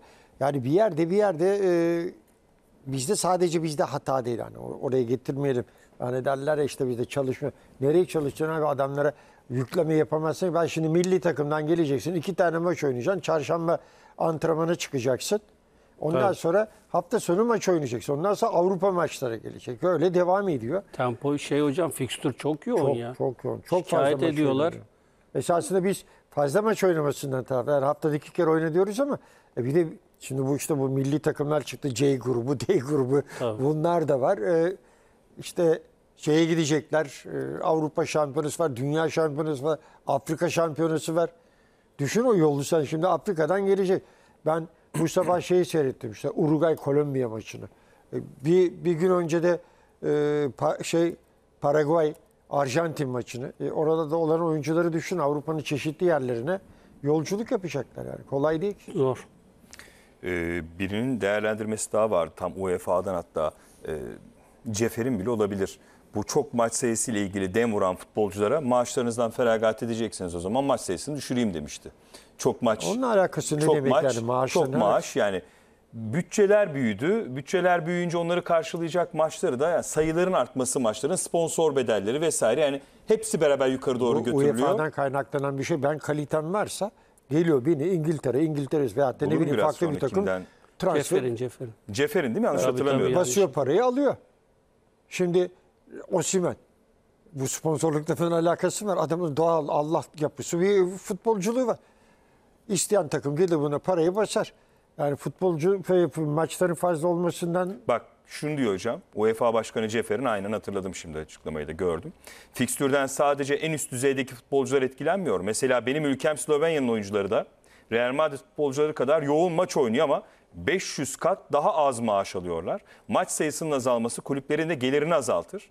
Profesyonel futbolcular sendikasıyla oturup ne istediklerini görmemiz gerekecek. Maç sayısını azaltırsak maaşları da düşürmek zorunda kalacağız ifadesini direkt birebir ağızdan söylüyor. Real Madrid'le sen onları bir tefeye koyarsan ya- yanmışız. Ama Real Madrid'de çıkmak istedi bu lüpten cezalarla karşı Ya karşıya kaldı. karşılayabilir, Yani aynı kefeye koymak durumunda kalıyorsunuz Ama o öyle zaman. de şimdi sen e, Slovenya ile kalkıp da Real Madrid'i bir tutamazsın. Adam dünyanın en en baba takımı tepesinde. Zirve ikincisi yok yani orada. Oradaki onlar tabii haliyle kendilerini hep orada tutmak için, e, o yarışın içinde tutmak için ne yapacaksın? Brezilya'da en yetenekli kim varsa basıyor parayı alıyor getiriyor. Veyahut da Avrupa'nın en baba topçusunu doğru mu? Doğru. Ee, televizyon gelirleri falan hepsi farklı. Aman oralara girersek çıkamayız da.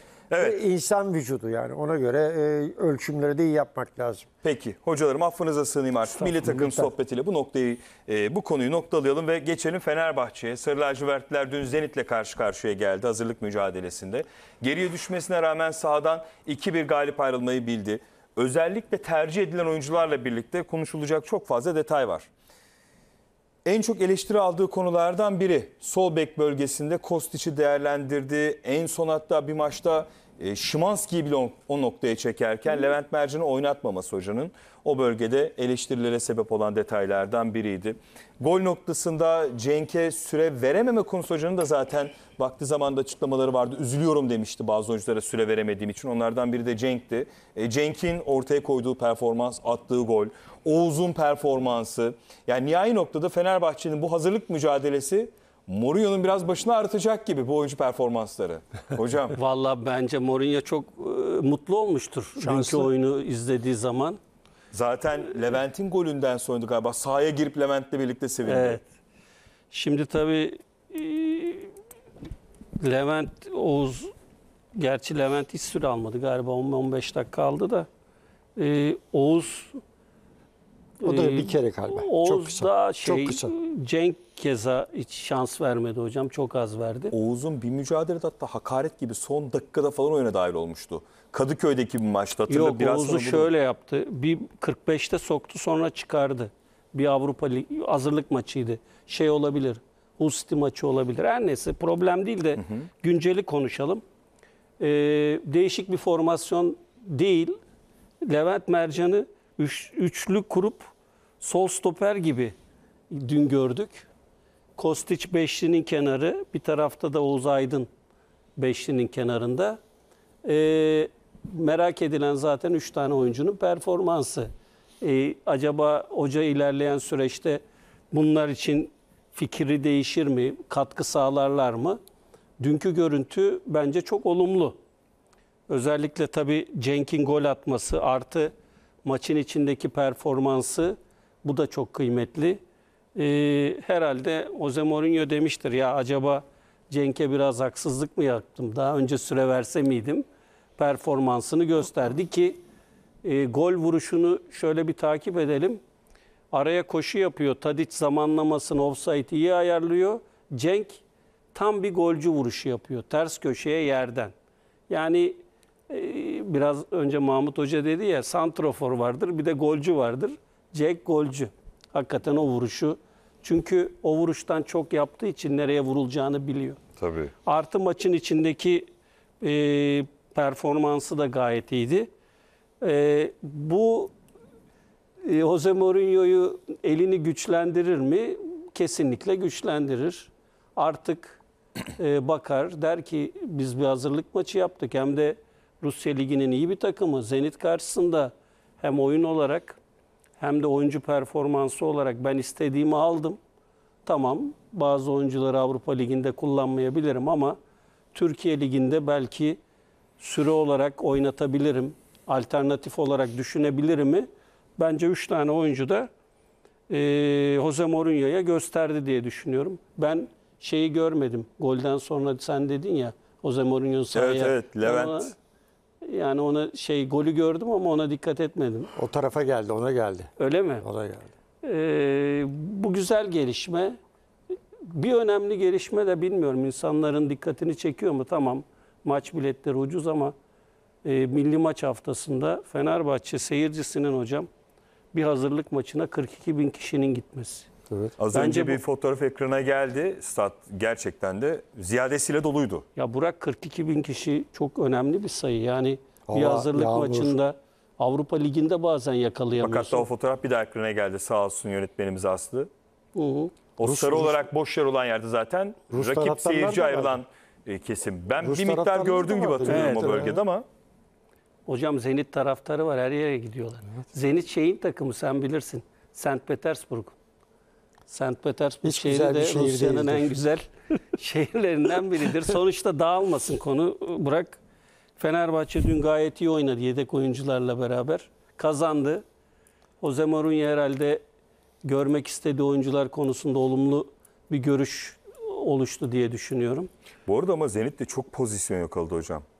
Yani savunmada da adamların Allah'tan üretkenliği biraz zayıftı. Ya Aksi takdirde maç farklı olabilirdi. Ama öyle tamam kabul ediyorum ama sen Levent Mercan'ı sol stoper oynatıyorsun. Oyuncu orta saha kökenli esas. 10 numara. Biz sol bek olarak çok izledik ama dediği gibi hocamız 8 veya 10 numara oynar. ya. Schalke. E, e, E on numarada da tercih etmiyor yani. O zaman transfer Orası, etme orası yani. 10 Herkesi numarayı nasıl tercih ya. edeceksin abi? Orada kimler var? on numara tercih etmek biraz çok zor. Yani burada şey kıymetli bence Cenk'in performansı, attığı gol kıymetli. Oğuz'un beşlinin kenarında zaman zaman e, özellikle önüne oynanan toplarda gö- e, oyunu ön tarafa götürmesi konusunda bence kıymetli. Ya biraz daha herhalde o zaman ya farklı gözle bakacaktır artık. Hocam sizin görüşünüz nedir? Ben Maça sağ- dair, oyuncu grubuna dair yorumunuz? Sadece sol tarafı karıştığını gördüm. o tarafta bir o kadar bir ço- şey dağıldılar ki kimin nereye gideceği, nereye gideceği orada bir sıkıntı yaşadılar. Şimdi üçlü oynanıyor tabii. e, Ha, Kostić de oynuyor sol. Tabii şimdi o, normalinde birisi içeri girerken birisi dışı. Tabii. Bunlar bazı bir yerde toparlandılar. Oraya şey de geldi. Tadiç de geldi zaman zaman. Yok, Öyle bir Tadiç sahada oynar. sahada oynadı da sonra ikinci devre çok e, karıştı orası. Yani kolay değil. Yani sen hiç oynamamışsın. Sol stoperi nerede oynadın abi? Hı. Şeyden bahsediyoruz. E, Levent'ten mi? Levent. Kostić zaten hayatında burada oynamaya başladı. Evet. Adamın ama futbol bilgisi öyle mi öyle mi? Fakat o tempoyu yapamaz yani. O tempoyu hiçbir zaman yapmadı. Onun öyle bir aktif alanı vardır ki orta sahanın bu tarafını verdi mi ona sana Baskı Aynı da şey alıyor. hocam takım işte da yani. durmuyor bak. Takım, hayır. Takımdaki performanslar açısından herkesin kendi performansını geçen sezonki performansının üzerine taşıyamama sebebi de oyun işte. Bence o değil. Bence oyundan hocam? oyundan kaynaklı. Aynı şeyi oyun dedim işte söylüyor. aynı şeyi Aynen. söylüyorum. Allah Allah. Şey, Hocam sen hayır diyor ya. Yok performans düştü dedin de ben performans düşüktü ondan Performans çıktım. ben demedim yola. hocam. Geçen sezonki performansın üzerine çıkamama sebebi bir tek Fred özelinde olsa değil, e, eleştiriler anlarım. Bütün takım halinde aynı durum yaşanınca diyorum karar O sebebi da, oyun. O da tabii şeyden kaynaklanıyor. Hocanın oyun tarzından, oyun prensiplerinden. Evet, evet. Bak ne diyoruz? Dünkü oyunu Fred bıraksın o şekilde oynatsın Fred'i. Ee, gene geçen sezonki oyunu hemen hemen yanına gelebilirsiniz, yaklaşabilirsiniz. E, Geçen Tadic- sezonki oyunu da hiç oynayacak gibi bir e, Ya oyun hoca- anlayışı yok hocam. Hoca oyunda. farklı bak ne diyorum. Üçlüyü de görebileceksin. Çift stoperi de görebileceksin. Sadece çift stoper oynadığını, ikili santraforda oynadığını görebileceksin. Bakın bu tarzdaki oyuncular, hocalar tek bir prensipte kalmıyorlar. O prensipte. Bunun en büyük özelliği ne? Ben ilk önce o itmelerimi çok iyi yapayım. Nasıl olsa benim önümde diyor ki hoca benim önümde elimdeki kadro öyle bir kadro ki gider 5 dakika sonra golü yazar gelir. Çünkü öyle bir tarzdaki ayaklara sahipsiniz. Bakın kaç tane bu tarzda e, ligimizde sol ayaklı mükemmel ortaları yapan, mükemmel topu tutan kaç tane takım var? Sol ayak. Çok sol ayakta da oyuncuya sahip Fenerbahçe. Ve hepsi de birbirinden virtüöz. Burak da diyor ki hocam Fenerbahçe'nin oyun anlayışından dolayı o geçen seneki ofansif oyunu göremeyeceğiz diyor ki bence haklı. Belli olmaz Şu- o. Değişebilir. Ben çok değişeceğini düşünmüyorum. Biraz kıpırdadığı zaman bile müdahale ediyor. Şu olabilir. Bence ana felsefe ben önce yemeyeyim. Onu Ki zaten o ekmeği- Mourinho'nun antrenörlük felsefesinden kaynaklanıyor. Ha şu ana kadar e, bunda başarılı oldu mu? Oldu deriz. Attığı 7 gol sayısına bakarak. Tamam ama yine de kaç tane? 9 tane falan 9 yedi. tane gol yedi bu zaman. Yani Galatasaray 11. biraz hocam Jose Mourinho'nun ofansif oyunda böyle esintiler gördüğümüz zaman ya Fenerbahçe farklı mı oynayacak diyoruz ama Bir kıpırdanma var mı diye bakıyorsun. Heyecanlı mı Hayır, mesela Fenerbahçe İstiyoruz daha taraftarı? doğrusu istiyoruz ama gecenin sonunda yine öyle olmuyor yani. Onun için onun için onu görmek istiyorsan Fred'i serbest bırakacaksın. Hayır Tek hocam tek o. ben ben o, o orada bekle gör taktiğini uygulamak lazım. Belki bu oyun Jose Mourinho'nun bu düşüncesi biraz önce söyledim. Fenerbahçe'ye belki lig şampiyonluğunu getirecek. O zaman da burada herkes ben de dahil olmak üzere siz de adam haklıymış diyeceğiz. Adamın anlayışında önce yemeyeyim ki ligde aslında mantıken önce yemediğin zaman ki o geçerlidir. Ne kadar attın değil ne kadar yemediğin konuşulur. Ama ana li- değil Değil mi hocam? Ana Belki o geçerli olacak. Bakıp Hocam, göreceğiz. şimdi sizler bu yorumları yaparken benim kafamda bir dünya şeyler dönüyor haliyle. Yani mesela tercihiniz ne? İyi futbol mu? Şampiyonluk mu?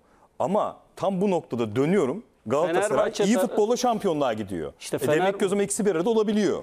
E Fenerbahçe taraftar da o zaman dönüp hocası ya da yönetimine şunu soruyor. Ya arkadaş aynı oyunu Galatasaray iyi oyunla beraber şampiyon oluyorken ben geçen sezon o iyi oyunla 99 puan, e, 99 gol onun üzerine koyarak devam etmem gerekirken oyunu bıraktım. Şampiyonlukta da farkı 5'e çıkarttım. Çok kısa gireyim bari. Şimdi ikisini kıyasladın. E, Bir tarafta şampiyon hoca Okan Buruk kendini bildiği bileli hep ofansif hücumda Evet. oynar. O şekilde gitmiştir. Inter'e gitti. Inter'de de aynı şekilde. O daha kalifeli kamplardan o prensipleri almış. Ama hoca da hocalığa başladığından beri de bu tarzda başarılı olmuş. Kaldırmadığı kupa yok. Evet. Bu tarzda. Şimdi neredeyiz biz? Hangisini daha çok öne getireceğiz? Türkiye'den bahsetmiyoruz. Avrupa'dan bahsediyoruz. Avrupa'da elit takımlarda bütün kupaları kazanmış adam. Tabii canım En son- kupası buradan en- yol olur her yere. En son Roma'da kazandı. Öyle geldi. Konferans. Yani şimdi Okan Hoca'nın da hep prensibi işte futbolculuk döneminde önde bas bas bas kamikaze gibi her yerlere git onları yap. Şampiyonluk o. E bu tarafta da e, adam e, futbolunu e, bu şekilde getirmiş. Hocam o Okan Hoca'nın değil bence. Bence o Galatasaray'ın felsefesi, Kültürü. kültürü. Zaten o kültür var da. Ama bu arada Okan Hoca Ama hoca- Akhisar'da da kupa kaldırdı. Şöyle- Başakşehir'de de şampiyonluk yaşadı. Hocanın da kültüründe var aslında. İşte onun için tercih edildi. Yani Yani hoca ve- kültüre uygun diye. Tabii doğru birleşim. Okan Yani. Hoca'nın kültürü tabii o Galatasaray kültürü ama o kültürde yetişmiş bir hoca devam ettiriyor o kültürü. Ama bu tarafta sen Mourinho'ya ne dersin ki adam hepsini kal. Şimdi biz onlarla konuşurken adamla e, biraz e, bir, destur çekeceksin yani her şeyi biz mi biliyoruz? Adamın kafasında bir şey var. Şablon var. O şablonla da hep başarılı olmuş. Hatırlar mısın hangi maçtı ya e, Şampiyonlar Ligi mi? Snyder'in falan oynadığı zaman Inter hani şimdi bir tabir var ya otobüs çektiler diyor. Barcelona, Bayern, Barcelona Bayern- maçı mı? Herhalde 1-0 yendiler. Final maçı değil mi Final işte maçı, ya? final Tabii, maçı. tabii. Bir kere atak yaptı, gol oldu. Ondan sonra adam öyle kaldı, şampiyon oldu. Zaten sonra da Şimdi karikatürleri çıktı otobüs UEFA çekerken. Şampiyonlar Ligi şampiyonluğunu aldın. Bu şekilde oynadın. Ha? Hangisi geçerli? ne diyeceğiz? Hocam Fenerbahçe taraftarı şunu ister.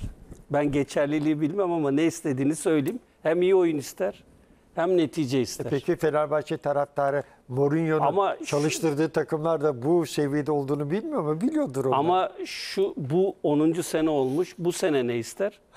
bu sene çok iyi oyun Sonuca olmayabilir. bakmaksızın kupa istiyorum. Aynen öyle. Lig şampiyonluğunu istiyor. Yani La- lig şampiyonluğunu istiyorsun da işte lig şampiyonu adamın da felsefesi lig şampiyonluğu bu şekilde Peki size bir soru sorayım. Seçim olmasaydı Mourinho'yu tercih eder miydi Ali Koç? İkinize de sormuş oluyor. Onu bilemem. Onu bilemem. O, ya, onu o kadar bilmiyorum açıkçası. Ona bir şey yani. Şimdi e, şey Jesus'u getiren birisinden her şeyi beklersin. Yani şampiyon olmak için her şeyi beklersin. Bak Fenerbahçe'nin şansı Fenerbahçe'de Galatasaray gibi kadroyu dağıtmadı. Üzerine ek- e- eklemeler yaptı. devre arası da ekleyecekler. Gene ekleyecek. ihtimalle. Yani e, kadrolar hakikaten iyi. Yani şimdi Avrupa Ligi'ne git tamam şampiyonlar falan oynamazsın ama bir beşi falan zorlayabilecek bir kadrolar. Lig diyelim ki Bundesliga'da oynadın. Ne bileyim Premier Lig'de oynadın. Ee, bir ilk beş arasında oynaman çok zor bu kadrolarla. Çünkü onlar devamlı aynı tempoda oynuyorlar. Ama orada da öyle e, düşmeyi falan olmaz oynarlar. E bunlar da Türkiye'nin elit takımları, elit oyuncuları getirdiler. Tamam yaş faktörü diyorsun bilmem ne biz gençlere fazla şans vermiyoruz. Olmayacak yani olmayacak da bu. Ama e, Mourinho'nun oyun tarihi bu. Hiç ummadı ya. En büyük sakatlık şeyde var Fenerbahçe'de herhalde stoper mevkilerinde. Çok değişkenler. istediği verim Evet. alamıyor orada. O, orası oturmadı hocam. Oturma- Hep tercihler? En zaten son Çağlar Samet yaptı ya. Yani alamıyor, verimi alamıyor orada. Yani Burak Fenerbahçe'nin herhalde en çok değişen yeri orasıdır herhalde. Evet. tabii tabii. Değil mi? Ve bir de omurganın En kabul önemli edilen en önemli yerlerinden biri. Yani şampiyonluk yolunda Galatasaray'ın asla değişmeyen stoper tandemi var. Bak Beşiktaş Paulista'nın bir sakatlığı Beşiktaş'ı bile orada ne kadar yıprattı. Ki Beşiktaş'ın kadro rotasyonu en zayıf takım büyükler Doğru. içerisinde. Trabzonspor'a keza bir türlü dikiş tutturamamasının sebebi zaten tek stoper değil ama nihai noktada şampiyonlukta stoper tandeminizin sabit olması çok kritik. Zaten e, hep önemlidir. Biz biz e, takımımızı kurmak isterken ilk önce aman santrafor olalım, sağ çıkalım. O esas önemli bölgelerini şu atlıyoruz, sonradan yapıyoruz. Bak, En önemli bölgeler buraları. E, hoca oradan bir müsterip. Yani anladığım kadarıyla Hocam orada, da tam çok sakatlık tutturamadı. oldu ya. Bir Çağlar sakatlanıyor, bir Ciku sakatlanıyor. Bir çok Öz- beğenmiyor. Be- Bekay'ı beğenmiyor ki farklı düşünüyoruz mesela hocayla. Osterwalde ki orada kullandığı o sakatlandı. Onun sakatlığı. Yani orada muhtemelen Devrede gelir mi belki oraya? devrede bir şey olabilir. Ama daha öncelikli yerleri var. Belki oraları tercih Öncelik ederler. neresi var mesela? Sen Bir sol bek, tam bir tane bir sol bek kesin var. Başka? Ee, Medina transferi gündemde, bir on orta numarada. saha- O orta saha hem rekabet için hem ileriki yıllar için 8-10 Medine arası. düşünülüyor. uzun Orası var. doğru. Orası var yani o- şu an orası olmazsa Abi, olmaz gibi. Hocada iki tane iki Belki tane hocam orta saha bak var. şöyle bir şöyle bir gerçek var. Şimdi Cengiz istediği verimi alamıyor ama sakatlıktan ama beğenmiyor. E İrfan keza belki bir kenar kenar forvet de alabilir Fenerbahçe. Belki sağ bek alabilir o sahanın durumuna göre. Eğer kontrat yenilemezse gitmek isterse ki öyle dedikodular geliyor. Türkiye içi değil de Türkiye dışı için konuşuyorum. Mistak Beleş'in İngiltere'de iş yapma hadisesi onun biraz daha işini çıkmaza sokuyor. Ya işte bu işlerde de böyle bir şeyler var. Aile var, hanım var, çocuklar var. Bilhassa yabancılardan. Yani öyle de gerçekler var. Oraya da bir takviye düşünülebilir. Beş Velhasıl. Burak'cığım konu çok dağılmasın. Fenerbahçe dün bölüm bölümde olsa bence iyi oynadı. Verimli bir hazırlık maçıydı. Doğru planlanmış. Programı güçlü. Taraftarın e, şey çok ilgi gösterdi. E, bu arada uygulanması gereken bir şey yaptı Fenerbahçe. Aa, bazı soru işaretli oyuncular vardı. Bizim bildiğimiz ama Jose Mourinho'nun bir sahada ilk 11'de göreyim dedi. Bence onlarla ilgili de olumlu geri dönüşler aldı diye düşünüyorum. Rakip de iyi yani. iyi bir rakip seçmişler. Kesinlikle. Güzel. Şükür Toğrak bu arada e, Uygur Türk'ü. Onun performansını nasıl buldunuz? Son yarım saatte de o oyuna dahil oldu stoper mevkiinde savunmada ki 18 yaşında daha. Yani yarınların da futbolcusu aynı zamanda. Ona dair bir yorumunuz olur mu? Ya da oyuncu değişiklikleriyle birlikte oyuna dahil olanlara genel hatlarıyla. Son bölüm biraz şey oldu. Karıştı Koptu. işler. O, hepsi koptu çünkü bir Çok- şey diyemezsin. Karıştı tabii. Onlar da muhtemelen değerlendirmeye girer ama Evet. bizim düşüncemiz yani sezon başından beri şans verilmeyen bu üç oyuncu üzerinde konuşuluyor. Kadronun daha derinlemesine kullanılması açısından. Biz dikkatimizi verdiğimiz üç tane oyuncu bu. İşte Cenk'in hocam söyledi geniş anlamda.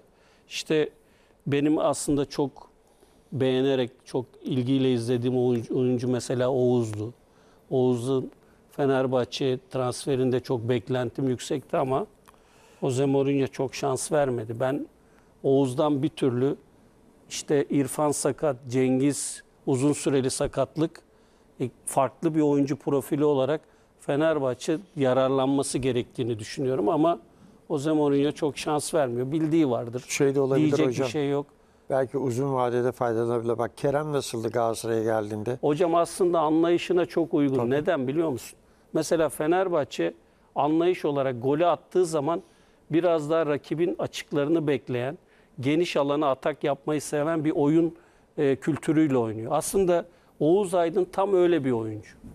Ama hoca Ali Koç'un açıklamaları vardı. Ha? Ee, Oğuz Aydın transfer olduktan sonra çok iyi bir oyuncu almışsın hocam e, başkan şeklinde. Mourinho'nun övgüsü olduğunu ifade etmişti Sayın Başkan. Sonrasında Belki ya işte be- belki sen Maksimen'i kendi Ö- getirdi. Öndekiler farklı oyuncular tabii. Şimdi çok tecrübeliler. abi. Tadiç'e geldiği zaman abi şöyle bir bakıyorsun. Neredeyse 30 saniye top yapışıyor. hocam alamıyorsun maç topu. seçmeksizin Ama hocam- her maçta kusursuz oynuyor. Hocam- Bu mücadelede de iki asistli yapan Tadic. Ama Ve tamam. neler neler. Burak ikinize de katılıyorum ama Tadic farklı profilde bir oyuncu. Ben Oğuz Aydın'ın daha farklı bir oyuncu olduğunu söylüyorum. Yani tamam. sizi çabuk kaleye götürür. Tadic bir maç içerisinde örnek veriyorum. Rakip savunma arkasına 5 tane koşu atar ama Oğuz Aydın en az 15-20 tane atar. Günümüz futbolunda bu e, şeyler, pozisyonlar önemli değil mi? Mühim olan rakip savunmanın arkasına çabuk geçmek. Çok iyi anladım. Offside'e girmeden. Hatta böyle böyle bir profilde oyuncum var. Ya tamam ilk 11'de yine şans verme. Kabul ediyorum ama ya bir 20 dakika bir ver hocam belki verim alacaksın, asist yapacak, gol atacak. Bir dahaki maça düşünürsün. Ya yine oynatma. Oyuncu değerli oyuncu. Fenerbahçe 5-6 milyon euro verdi bu oyuncuya ve genç oyuncu. Yarınlar Ve bu oyuncu kritik. muhtemelen Fenerbahçe'ye gelmese hocam başka takımları tercih etse ki şeyleri vardı, taliplileri vardı. O, orada oynayıp belki daha farklı bir şekilde göz önüne girecekti ve milli takım aday kadrosundan elendi bu oyuncu. Oynamıyor hocam. diye. Doğal olarak. Şey Montella da dedi ki süre almıyor. Ben almıyorum Siz dedi. şunu diyorsunuz o zaman. Geçen sezonki Kerem Fenerbahçe oyunda. Tadic, bu sezonki Fenerbahçe oyununda Oğuz. Ney? Tercih. Ya hayır Tadiç'i yine tercih etsin. Bu adam farklı bir profil. Anladım. Ya kullanılabilir onu anlatmaya Şimdi hocanın bir istediği şu. geçiş oyunu daha doğrusu ona bir geçiş oyunu deniyor. Kontrakta hızlı çıkışta. Reklamdan sonra konuşalım mı hocam. Konuşalım. Tam 51 oldu. Vaktimiz geldi. Reklama gidelim. Reklamların sonrasında devam edelim. Spor gündeminde 3. saat dilimindeyiz. 3. saat diliminde de Fenerbahçe ile giriş yapalım ama artık yavaş yavaş Fenerbahçe'de noktalayalım istiyorum. Hocalarım şunu sorayım son durumda. Zenit maçını da izledik. Fenerbahçe'de mevcut zaman içerisinde süre alamayan oyuncuları da gördük. Şu dakika itibariyle Fenerbahçe ideal 11'iniz nasıl olur? Onu sorayım. Hadi bakalım. İdeal 11'i o zaman hemen yapalım. Livakovic kalede. Sağ bek Osayi. Türkiye Ligi için konuşuyoruz değil mi? Evet Türkiye Ligi. Çünkü bazı Çok hızlı oyuncu- alayım Furkan'a da gideceğiz. Öyle mi? O zaman Furkan'a git Hatta ondan dur, sonra yapalım. Furkan'ı bekletmeyelim şimdi Kayseri'de Evet. hava buz gibi. Milli takım öncesi, maçı öncesi son gelişmeleri ondan alacağız. Saatler 22 gösterdiğinde Galler'le karşı karşıya gelecek. A milli futbol takımımız Kayseri'de de arkadaşımız Furkan bizleri bekliyor ki meydana geçmiş. Artık güneş de yok oldu ki zaten çoğu yerde de hava kapalı. Ee, bu saat itibariyle hava iyi de ısırmaya başlar. Furkan'ı bekletmeyelim. Furkan. Burak Ölmez çok teşekkür ederim. Ben de Kayseri'de bu kez farklı bir noktadan sizlere bir kez daha mutlu günler, yayınlar diliyorum. Ekranın hemen sağ tarafında Kayseri Kalesi var. Ekip arkadaşım Özkan Şafak'tan ben rica edeyim. Şöyle güzel bir Kayseri Kalesi manzarası eşliğinde ben de bu akşamki milli maça dair notları aktarmaya başlayayım. Bu arada bulunduğumuz nokta Cumhuriyet Meydanı Kayseri'nin en işlek noktalarından, en hareketli, en kalabalık noktalarından birisi. Burada da bu akşamki milli maça dair de tabii ki bazı e, süslemeler, bazı afişler de mevcut. Birazdan Özkan'dan rica edeceğim. Onları da şöyle kısa kısa ekrana getirebilirse eğer ben de çok seviniyor olacağım. Maça dair notları aktarmaya başlayayım ben. Ameli futbol takımımız Uluslar Ligi'ndeki 5. hafta mücadelesinde bu akşam saatler 20'yi gösterdiğinde Galler'i konuk ediyor olacak. Grupta 4 maç sonunda 10 puanla lider durumda bulunduğumuzu bir kez daha hatırlatalım. Rakibimiz Galler ise hemen arkamızda ikinci basamakta. Onların da 8 puanı var. İki takım açısından da oldukça kritik bir mücadele. Biz bu akşam kazandığımız takdirde gruptan lider çıkmayı garantiliyor olacağız ve adımızı Uluslar Ligi'nde A Ligi'ne yazdıracağız. Aynı zamanda 2026 Dünya Kupası içinde bir playoff biletini cebimize koyuyor olacağız. Rakibimiz Galler ise elbette onlar da bu akşam burada bu deplasmanda kazanarak buradan lider dönmeyi hedefliyor olacaklar. Çok kritik, güzel, keyifli bir karşılaşma olmasını bekliyoruz. Ameli futbol takımımız pazartesi günü Riva'da Hasan Doğan Milli takımlar kamp merkezinde toplanmıştı A milli takım aday kadrosu. Tabii ki sonrasındaki sakatlıklar, kadrodan çıkartılan bazı isimler moralleri bozsa da bu akşamki mücadelede biz yine Vincenzo Montella'nın en ideal 11 ile kadroyla, kadroyla sahaya çıkmasını bekliyoruz. Öncelikle ben sakatları bir kez daha hatırlatayım. E, Çağlar Söyüncü o isimlerden birisiydi. Ferdi Kadıoğlu yine Brighton'da forma giyen milli oyuncumuz sakatlığından dolayı kadrodan çıkartılmak zorunda kalmıştı. Yine Deniz Gül ki Deniz ilk kez milli takım heyecanı yaşıyordu. Çok genç bir oyuncu. İsveç asıllı, İsveç doğumlu ve Portekiz'de kariyerini devam ediyor. Deniz onun açısından da tabii ki biraz şanssız bir e, durum oldu. Sonrasında eklemeler var. Milli takım kadrosuna dahil edilen isimler var. Onlardan birisi yine Bertu Yıldırım, Eren Dinkçi ve Yasin Özcan. Onlar da yine takımla beraber Kayseri'ye geldiler. Bu akşam Vincenzo Montella'dan şans bekleyecek bu 3 genç futbolcumuz da. Biz muhtemel 11'imizi hemen paylaşalım. Kalede bu akşam A millilerde Mert Günok'un forma giymesini bekliyoruz. Dörtlü savunmanın ise sağ tarafında Zeki, sol tarafında Mert Müldür, savunmanın merkezinde yine Merih ve Abdülkerim ikilisinin maça başlamasını bekliyoruz. Orta alanda Orkun Kökçü ile beraber kaptanımız Hakan Çağlanoğlu ki burada bir ufak parantez açmak gerekebilir. Çünkü Hakan'ın kasığından yaşadığı bir sakatlık var. Pazartesi ve salı günkü çalışmalarda takımla birlikte yer almamıştı antrenmanlarda kaptan Hakan Çağlanoğlu. Çarşamba günü, perşembe günü ve dünkü son antrenmanda takımla birlikte çalışma şansı buldu Hakan.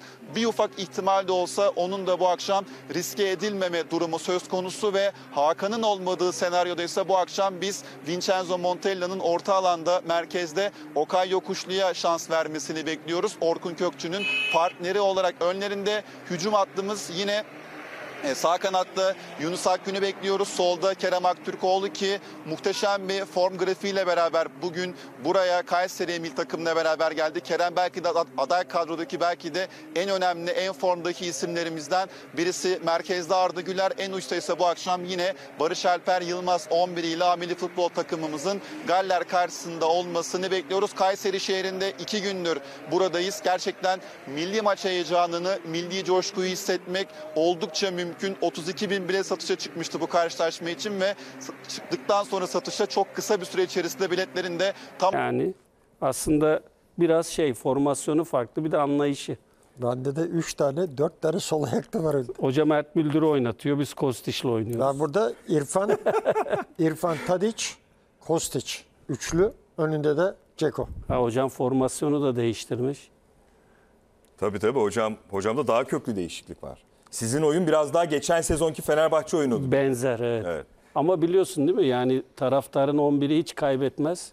Çünkü o, o çıkmaz genellikle. Peki bakalım. Bu arada e, az önce Zenit sohbetini yaparken Zenit'in bağlı bulunduğu şehrin sohbetini açtığınızda Atalay Özdemir'in e, gözüne hiç kaçmamış sağ olsun. O da yorum yazmış Twitter'dan. Eksik olmayın efendim. Sağ olun, var olun. Şehrin Vallahi ben konuyu güzelliğinden mi? kapatmamın sebebi e, konu çok derin konu. Uzar diye açmak istemiyorum. Şey mi, Yoksa Sankt herkesin Petersburg duyguları aynı. Sankt Aynen Petersburg. hocam. Neyse bak gene kapattırmak zorunda bırakacaksınız benim konuyu. Galatasaray'a geçelim. Sarı Kırmızılılarda özellikle bu sezon ortaya konan performans. Icardi'nin sakatlığı belki canları sıktı ama e, kimilerine göre sezonun sonlarına doğru sahaya da yetişebilir gibi bir yaklaşım da var ama bir gerçek var ki e, çapraz bağlar. Menisküs de eklendiği zaman dönmesi biraz bu sezon için güç. Nasıl kendisine baktığına da Vücut bağlı. Vücut da. Hocam, Hocam Galatasaray sizinle başlayalım. Burada bir şey mi diyordunuz Abdullah yok hocam? acele etmeye gerek yok ya. Ya bir Evet. oyuncu bir şeyler düşünüyor anladığım kadarıyla. Avrupa Ligi'nde final işte son 3-4 maç ama yani bu yani acele etmeye değecek bir sakatlık değil. Bu çok önemli bir sakatlık. Mühim olan sağlıklı dönmesi. Bir de daha yaşı 37-38 değil. tabii, Nihai tabii. noktada en az en azından bir 4 sezon daha önünde kariyeri var Icardi'nin. Doğru. Riske atmaması lazım. Hocam Galatasaray sizinle başlayalım. Neler söylersiniz? Az önce bu arada içtiğimiz çaydan mıdır? Bir gıcık yaptı hayırlısı. Oluyor arada. Ben, bende Ee, çok oluyor öyle. Vallahi hiç hocam. Neyse geleceğim nokta şu. Az önce Fenerbahçe'yi konuşurken şunu ifade etmiştiniz yani. Taraftar iyi oyun görmek istiyor ama Mourinho var. Mourinho iyi oyundan ziyade sonuç odaklıdır. Sezon sonu kupa görür. Galatasaray sezonlardır hem iyi oyun hem de kupaları gösteren bir takımla karşı karşıya. Bu sezonda Beşiktaş 10 puan attı. Fenerbahçe'ye 5 puan fark attı ve liderliğini sürdürürken iyi oyunla devam ediyor. Neler söylersiniz hocam? Valla lider olduğu zaman bu kadar puan farkı olduğu zaman buna farklı bir şey konuşacak değil ama Tabii. her zaman söyleyeceksin. Taraftarlar memnun mu? Memnun. 50 bin kişi mi diyorsun? Geliyor. 70 bin kişi olsa gene gelecek. Onlar da ama onlara da bir maçın son 10 dakikasını sor taraftarlara. Tottenham maçı. Yani genel 6-7 genel olacak maç. genel sadece Tottenham Tabii. genel orada bir orada bir sıkıntı var ama çok e, fazla maç yapıyorlar. Çok fazla e, takımla oynamadıkları için elindeki oyuncular aşağı yukarı 3. sezon e, çoğu oyuncu ve devamlı antrenman maç, antrenman maç, antrenman maç. Bir yerde de e, senin Tottenham'la maçın varsa orada bir frenliyorsun oyunu. Değişiklikler farklı oluyor. Elindeki oyuncular çıkanla hemen hemen hepsi aynı seviyedeler mi? Bazı aşağıda olabiliyor. Bazısı aynı seviyede olabiliyor. Ama şu var. Galatasaray hani bir çalkantılı bir dönem yaşadı sezon başında. Herkes işte o istifa, bu istifa bilmem ne derken bir transfer bütün çehreyi değiştirdi. Osimhen transferi. Evet. E buna tabii Osimhen'in e, gelmesinden ziyade Osimhen'in takıma hemen adapte olması hiçbir sorumluluk yaşamadı. Futbolcu ve takım olarak sor- sorun yaşamıyorsunuz. Bakıyorsunuz herkes birbirine kenetlenmiş. Oyun performansı, e, işte Sara'nın hep ilerleyen maç maç bakarsa ilerleyen performansı, oyuna katkıları, farklılıklar yaratmaya başladı. İlk geldiğinde öyleydi gayet normal.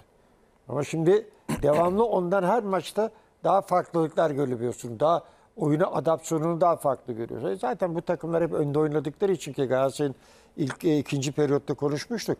E, genlerinde var hep ofansif oynaması. E, Frenleyemezsin bunları. E, gelen oyuncuları da seçtikleri oyuncular da bu tarzda. Vallahi çok fazla bir şey konuşulacak yok. Burada transferde ne olur? Ara transferde yapar mısınız? Ee, nereye yaparsınız? Nereye getirir? Çünkü eksik bölgeniz var. Eksik bölgenizi içeriden tamamlıyorsunuz. Performans alıyor musunuz? Alıyorsunuz. Sağ bek için mi söylüyorsunuz? sağ bekte sol bekte aynı şekilde. Tamam arızalar oluyor ama içeride o kadar kaliteli ve pozisyon bilgisi iyi olan oyuncular var ki hemen hemen itmeleri kapatabiliyorlar. Kapatıyorlar da. Bunları şeyde de fazla görmedik. Ee, yabancı Avrupa maçlarında şu anda Galatasaray'da her şey optimal.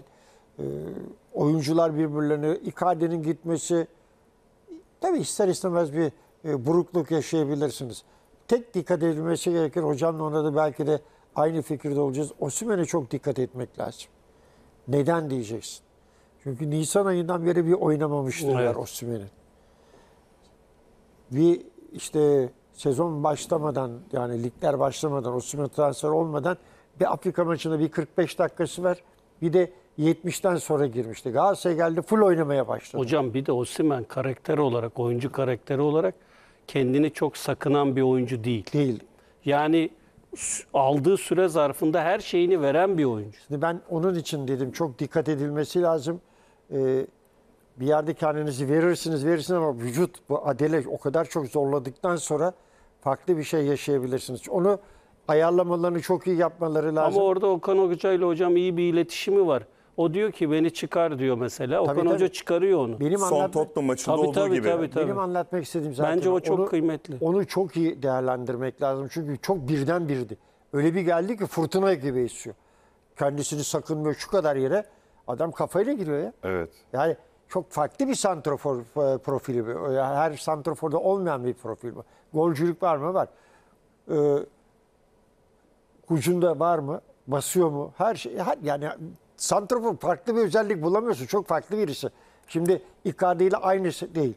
Ceko ile aynı mı? Değil. Yani zaten hemen hemen dünyada bir Haaland aşağı yukarı aynı seviyede. Ama bu daha golcüsü kendilerini sakınmayan, hep oyunun içinde tutan birileri bunlar. Ya pek ç- üçüncüsünü sayamazsın. O santrafor olarak. E tabii birbirlerine bağlantılı. Yunus'un takıma e, faydalandılar. Ondan faydalanmaya başladılar. Yeri geldi açıkta oynattılar. Yeri geldi işte e, üçlü gibi oynadıkları zaman Yunus oradaki Yunus da Kostić gibi hayatında ilk defa iki tane maç oynadı. Bir Fenerbahçe maçı bir de yanılmıyorsam son Tottenham maçı. Tottenham maçının ikinci devreleri. Yani takım olarak birbirlerine e, ansambleleri çok iyi. Geride fazla sıkıntı yok. Kalede zaten hiç çok senelerden beri. Ha bir bütünlük nedir? Takım bütünlüğüdür. Oyun prensibi de aynıdır. E zaten Galatasaray geçen sezonda oynuyorsa bu sezonda oynuyor. Sadece bir iki tane oyuncuların değişikleri ve hepsi birbirine. Kaan'ı es geçmemek lazım. Kaan sağ bekte de, stoper hattında da. e, orta sahada koysan defansif olarak orada da hiç Tam bir joker. bir oyuncu. Her noktada Hepsi var. birbirini tamamladığı için e, Galatasaray şu anda haklı olarak o zirvede. Oyun olarak da verdikleri, gösterdikleri potansiyel olarak da bunu sürdürmeleri önemli. İşte giren çıkan e, maçın sonlarına göre ister istemez o performans düşüyor. Çünkü kafadan düdükle birlikte basıyorlar. Galatasaray durmuyor yani. Düdükle birlikte o işi bir yarım saatte bitirmeye çalışıyor. Genelde de öyle oluyor. İkinci devrede de bir 10 dakikasını falan söylüyorsun. Ondan sonra rakip biraz üzerinize geldiği zaman orada bir aksaklık var. Defolar bu da- başlıyor zaman Bu da e, işte futbolun gerçekleri. Bu da bir de bana kalmıyor abi oradaki teknik eğitim işi. Onu nasıl ayarlayacaklar? Bir tek sıkıntı söyle yoksa öbür türlü her türlü sağdan, soldan, ortadan, göbekten oyunu geriden kurmaları. Bir Sanchez diye bir adam dünkü maçı, ya sabahki maçı hariç sabah iyi değildi. Şeye karşı, e. Uruguay'a karşı. Yani onlar olur tabii. Yani takım olarak iyiler. Fazla bir şey söyleyeceğimiz yok. Ee, şeyde de sadece galip geldikleri için de kötü oynadıkları maçta puan vereceğiniz maçlar da olacak. Ama bunlar hep sizin hep tecrübe. Elinizde bu kadar oyuncular var sizin. Maçı geriden de gelip çıkar çevirmenize bakacaksınız. Şimdi şu anda Galatasaray hep galibiyet üzerine gidiyor. Bir de geriden gelmek var. Olur bir maça başlarsınız hiç ummadığınız anda 2-0 geri düşersiniz değil mi hocam? E, olabilir tabii. Buradan nasıl çıkacaksınız onu görmedik daha şu ana kadar. Onları da yaşamak istiyor. Elindeki öyle bir kadro var mı? Var. Ha, şimdi ne geldi? Galatasaray'da önümüzdeki haftadan sonra şunu konuşacağız. Çift santrafor mu oynayacak, tek santrafor mu? Bir Batu kalktı- Şuay'la çift santrafor oynar mı? Tahmin etmiyorum. Kalktı şimdi. Ben de. Kalktı çünkü Icardi olduğu için mecbur ikisini oynadı. Şimdi Bir de gene eski, düşünecek Gene hocam. eski formata gireceğini düşünüyorum ben. Evet. Yorgunluğu da hesaba katarak ben de çok çift Gene santrafor eski beklemiyorum. eski forvet e, şeyde e, konumunda devam edeceğini Bir düşünüyorum de formatta. Batshuayi ile çift forvet şey çift santrafor Galatasaray'ın oynadığı oyuna çok uygun değil. Çünkü Icardi orada sadece santrafor oynamıyordu biliyorsun. Pasör. Geriden oyun kurulurken gelip yardım ediyordu. Tabii geziyordu. Özellikle oyun kurulumunda çok önemli. Herhalde şöyle söylemek Burak yanlış olmaz. Galatasaray bu ligin üzerinde, bizim ligimizin üzerinde bir oyun oynuyor. Net katılıyorum. Yani e, formasyon olarak birkaç formasyonu deniyor. Türk Türkiye Süper Ligi'ne yenilik katıyor. Ve bunu bazı bölgelerde oyuncu eksikliğine rağmen takım içerisinden bunu çözüp bu oyunu iyi oynuyor. Üçlü oynuyor, iyi oynuyor. Dörtlü oynuyor, iyi oynuyor. Icardi varken iyi oynuyor. Osimhen tek oynadığı zaman da yine iyi oynuyor. Oynuyor da oynuyor. Bir kere hakkını vermek lazım. E, şimdi şöyle de bir gerçek var. Ya diyorlar ki işte Türkiye Ligi'nde bu geçerli de. E Tottenham'ı da gördük. E, görmedik mi? Orada da hemen bir kulp buluyorlar Galatasaray'ın oyununa. Hocam onu diyorlar ki 7 tane eksiği varmış. Ya 7 tane eksiği olabilir. Sonuç itibariyle Riga'nın ne eksiği vardı e, peki? 8, Riga'da 800 milyon pound'dan bahsediyoruz hocam. Kurulmuş bir takım. Eksikliği olsa derinliği var. Oynatmadığı oyuncular da en az oynayanlar kadar kıymetli oyuncular. Hocam bir de bizim çok sevdiğimiz bir laf var. Formayı koysan oynar. Tottenham'ın forması oynamaz mı? Bir, aynen Yani öyle. Bir, bir de rakibi küçümsemek bunu şu, bunu yapılan işe yapılan işe bir kere saygı duymak lazım. İkinci yarının başıyla 45. dakikayla 70. dakika arası abartmadan söylüyorum. Bir teknik direktör olarak söylüyorum. Maç 6-1, 7-1, 7-2'ye giderdi. İlk Ha, devre 5-0. Efendim? İlk devre 5'te giderdi. Aynen ben özellikle hocam ikinci devrenin başıyla 70. dakika benim ölçütlerimde Galatasaray bir oyun oynadı ve bunu Tottenham'a karşı oynadı. İşte 7 eksik ben onları anlamam. Oynadı mı? Oynadı. Yaptı mı? Golleri kaçırdı mı? Kaçırdı. Benim için Galatasaray bunu yaptı, yapabiliyorsa demek ki Galatasaray bu ligin üzerinde oyun oynuyor. O kadar sakatlanmalar oluyor. Formasyon değişiyor. Kerem gidiyor. Kenar oyuncusu yok. Şey çıkıyor. Yunus çıkıyor. Yunus çıkıyor. Ondan daha iyi oynuyor. Ya bunlar tesadüf mü ya? Bunlar tesadüf mü?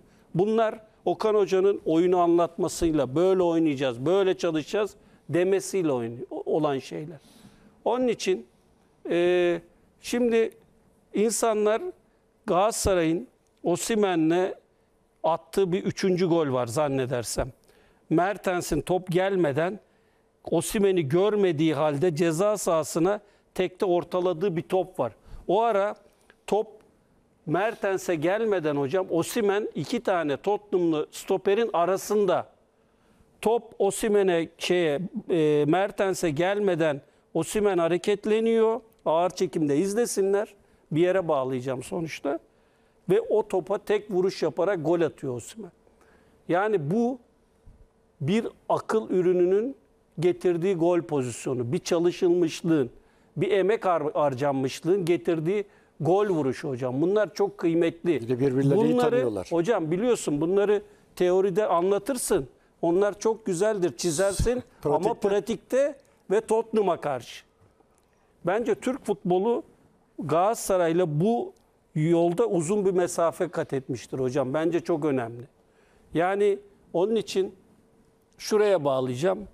Ben Galatasaray'ın bir 8'ini en kötü 16'sını kesin görüyorum. Orası kesin. Ee, sadece devre arasındaki transfer politikasını merak ediyorum. Neden merak ediyorum? Avrupa Ligi'nde lig statüsünden sonra elemeye geçecekler bire bire. Evet. Buradaki yıpranma paylarında eğer Galatasaray çok sakatlık yaşarsa ki inşallah yaşamaz, orada biraz sıkıntı yaşayabilir. Çözüm bulur mu? Bulur. Ama bulduğu çözüm verim açısından ne kadar katkı sağlar şu anda götürüyorlar. İşte Sabek olmuyor, Barış oynuyor, Kaan oluyor, Jakobs olmuyor, Berkan oynuyor falan filan. Ama eee, hemen şuna da bir cevap vereyim. Bu Galatasaray formasyon olarak 4-4-2'ye devam eder mi? Veya 3-4-1-2'ye devam eder mi? Benim düşünceme göre Galatasaray Icardi'nin sakatlanmasından sonra Osimhen'le tek santrafor oynar. Onun arkasını kurgular. Eski formata döner orada. Hocam orada 4-2-3-1 eski format bu. Ama ben sanki Okan Hoca'nın orada 3-4-2-1'e de dönebileceğini düşünüyorum. İkiliyi kiminle kurar? Yani Mertens arkası Yunus olabilir. Salah ile Barış'ı da kullanabilir gibime geliyor kenarlarda. Bir kadroyu tam olarak isimlendirir misiniz hocam? Üçlüyü tamam anladık. Üç, zaten biliyorsun. Evet, üçlü- Nelson'u kullanmıyorsunuz ama değil mi üçlüde? Kaan'ı mı kullanıyorsunuz? Kimi kullanıyorsunuz? Hayır Kaan savunmada? merkezde. Tamam sağında oynanan- Sanchez solunda Abdülkerim. Tamam burası üçlü. Tamam. Torreira Sara. Salah bir kenarda. Öbür Şalay ile Barış Alper mi Evet bir kenarda. İl- Önlerine Yunus'la şey. Mertens. Mertens. Osimhen tek santrafor. Hocam Olabilir her türlü oynar bak. Galatasaray'ın şu andaki elindeki formatı bütün Fenerbahçe'de aynı bütün formatlar oynayabilirsin. Oynayamayacak diye bir şey. Öyle bir kadrolara sahip bunlar. Bu iki takım öyle bir kadroya sahip. Çift stoper de oynayabilirsin. Dörtlü yaparsın onu. Her şey oyna bak tekrar söylüyorum. Bir de şey de olabilir değil mi hocam? Özür dilerim. Estağfurullah. Oyunun içinde Tabii oyuncuların değişkenlikler yerlerini zaten, değiştirerek formasyon da sürekli değişebilir. değişiyor. Şimdi mesela lig maçında Şalay'dan vazgeçme. Şalay iyi bir oyuncu. İyi bir oyuncu. Şimdi Riyas'ın, Riyas'tı değil mi? Ee, Kolombiyalı. Ne demek istiyorsunuz? Şey kenar oyuncusu alacaklar. Kenar oyuncusu. He, transfer Evet. etme hadisesi. Evet evet evet. evet. Arias, Arias. Arias, pardon. Arias, Arias. Ari- Arias'ı da alırsa e, zaten bu, bu elindekilerin iki kat üzerinde. Geçen gün yayında da burada söyledi. İki kat üzerinde bir oyuncu. Çok farklı bir oyuncu o da. Alabilirlerse. Fluminense'de O kenar oyuncusu değil mi kenar hocam? oyuncusu. Fluminense'de oynayan. Ama her türlü de oynatabiliyorsun onu. Şimdi bak Şalay da öyle. Buraları bir kere çok iyi olacak Galatasaray. Avrupa Ligi için çok mü- mükemmel bir olacak. Çünkü Ocak'ta başlayacak Şalay'da oynamaya. Ama e, Türkiye Ligi için tekrar hangisini oynarsın oyna. Kaan'ı gel sentral bek oynat. Sağ bekte oynat. Önünde Barış oynat. Şalay oynat. Barış'ı çek sol tarafta. Yani o kadar bir e, değişkenlikli bir kadroya sahipler ki. Hocam ama hepsinin en önemli kritik noktası Burak. Mertens bir, bir türlü olması lazım. Yani Yani Gidebildiği kadar değil mi? he, yani hocam bir 45-60. Gidebildiği ama kadar. Ama Adana oyunun- maçında da Adana hocasının e, analizi Mertens oyuna girdi. Oyun bize döndü diyor. Nerede? Yunus çıktıktan Kasımpaşa sonra Mertens'in Kasımpaşa Adana diyorum özür dilerim. Kasımpaşa'da Sami her Hoca'nın zaman olmaz tespiti. öyle. Her zaman olacak Ama iş değil o. e, o zaman şeyi de seyretsin, Tottenham'ı da seyretsin hoca. Maç maç bakmak farklı. Tabii. Ben Bence genel anlamda hocası Kasımpaşa'yı izlemeliydi. ben genel anlamda söylüyorum. Hakikaten yani Mertens bir de Mertens bir de Osimhen uyumu yakalandı. Hani ikililer vardı ya hocam. zaten onlar beraber. Evet, şeyde, Napoli'de. Napoli'de. evet. Böyle Evet. birbirlerini çok iyi biliyorlar nereye koşacağını ne yapacağını. Ya be, Mertens hakikaten hani biz hep Fred'i mesela Stikes'te falan bahsederiz ya. E, işte Mertens abi daha gelmeden adam ne yapacağını o Evet. kadar çok iyi biliyor ki. Şimdi bak mesela Torreira'nın oyunu da değişti. Ben her zaman derdim ki abi bir de orta sahası güzel de bir git ya bir aktif bir ceza sahası. şimdi O da bak, gitmeye başladı. Şimdi gitmeye başladı. Sara kalıyor daha çok. Bunlar yanındaki oyuncularla birlikte yapabileceğin işler bunlar.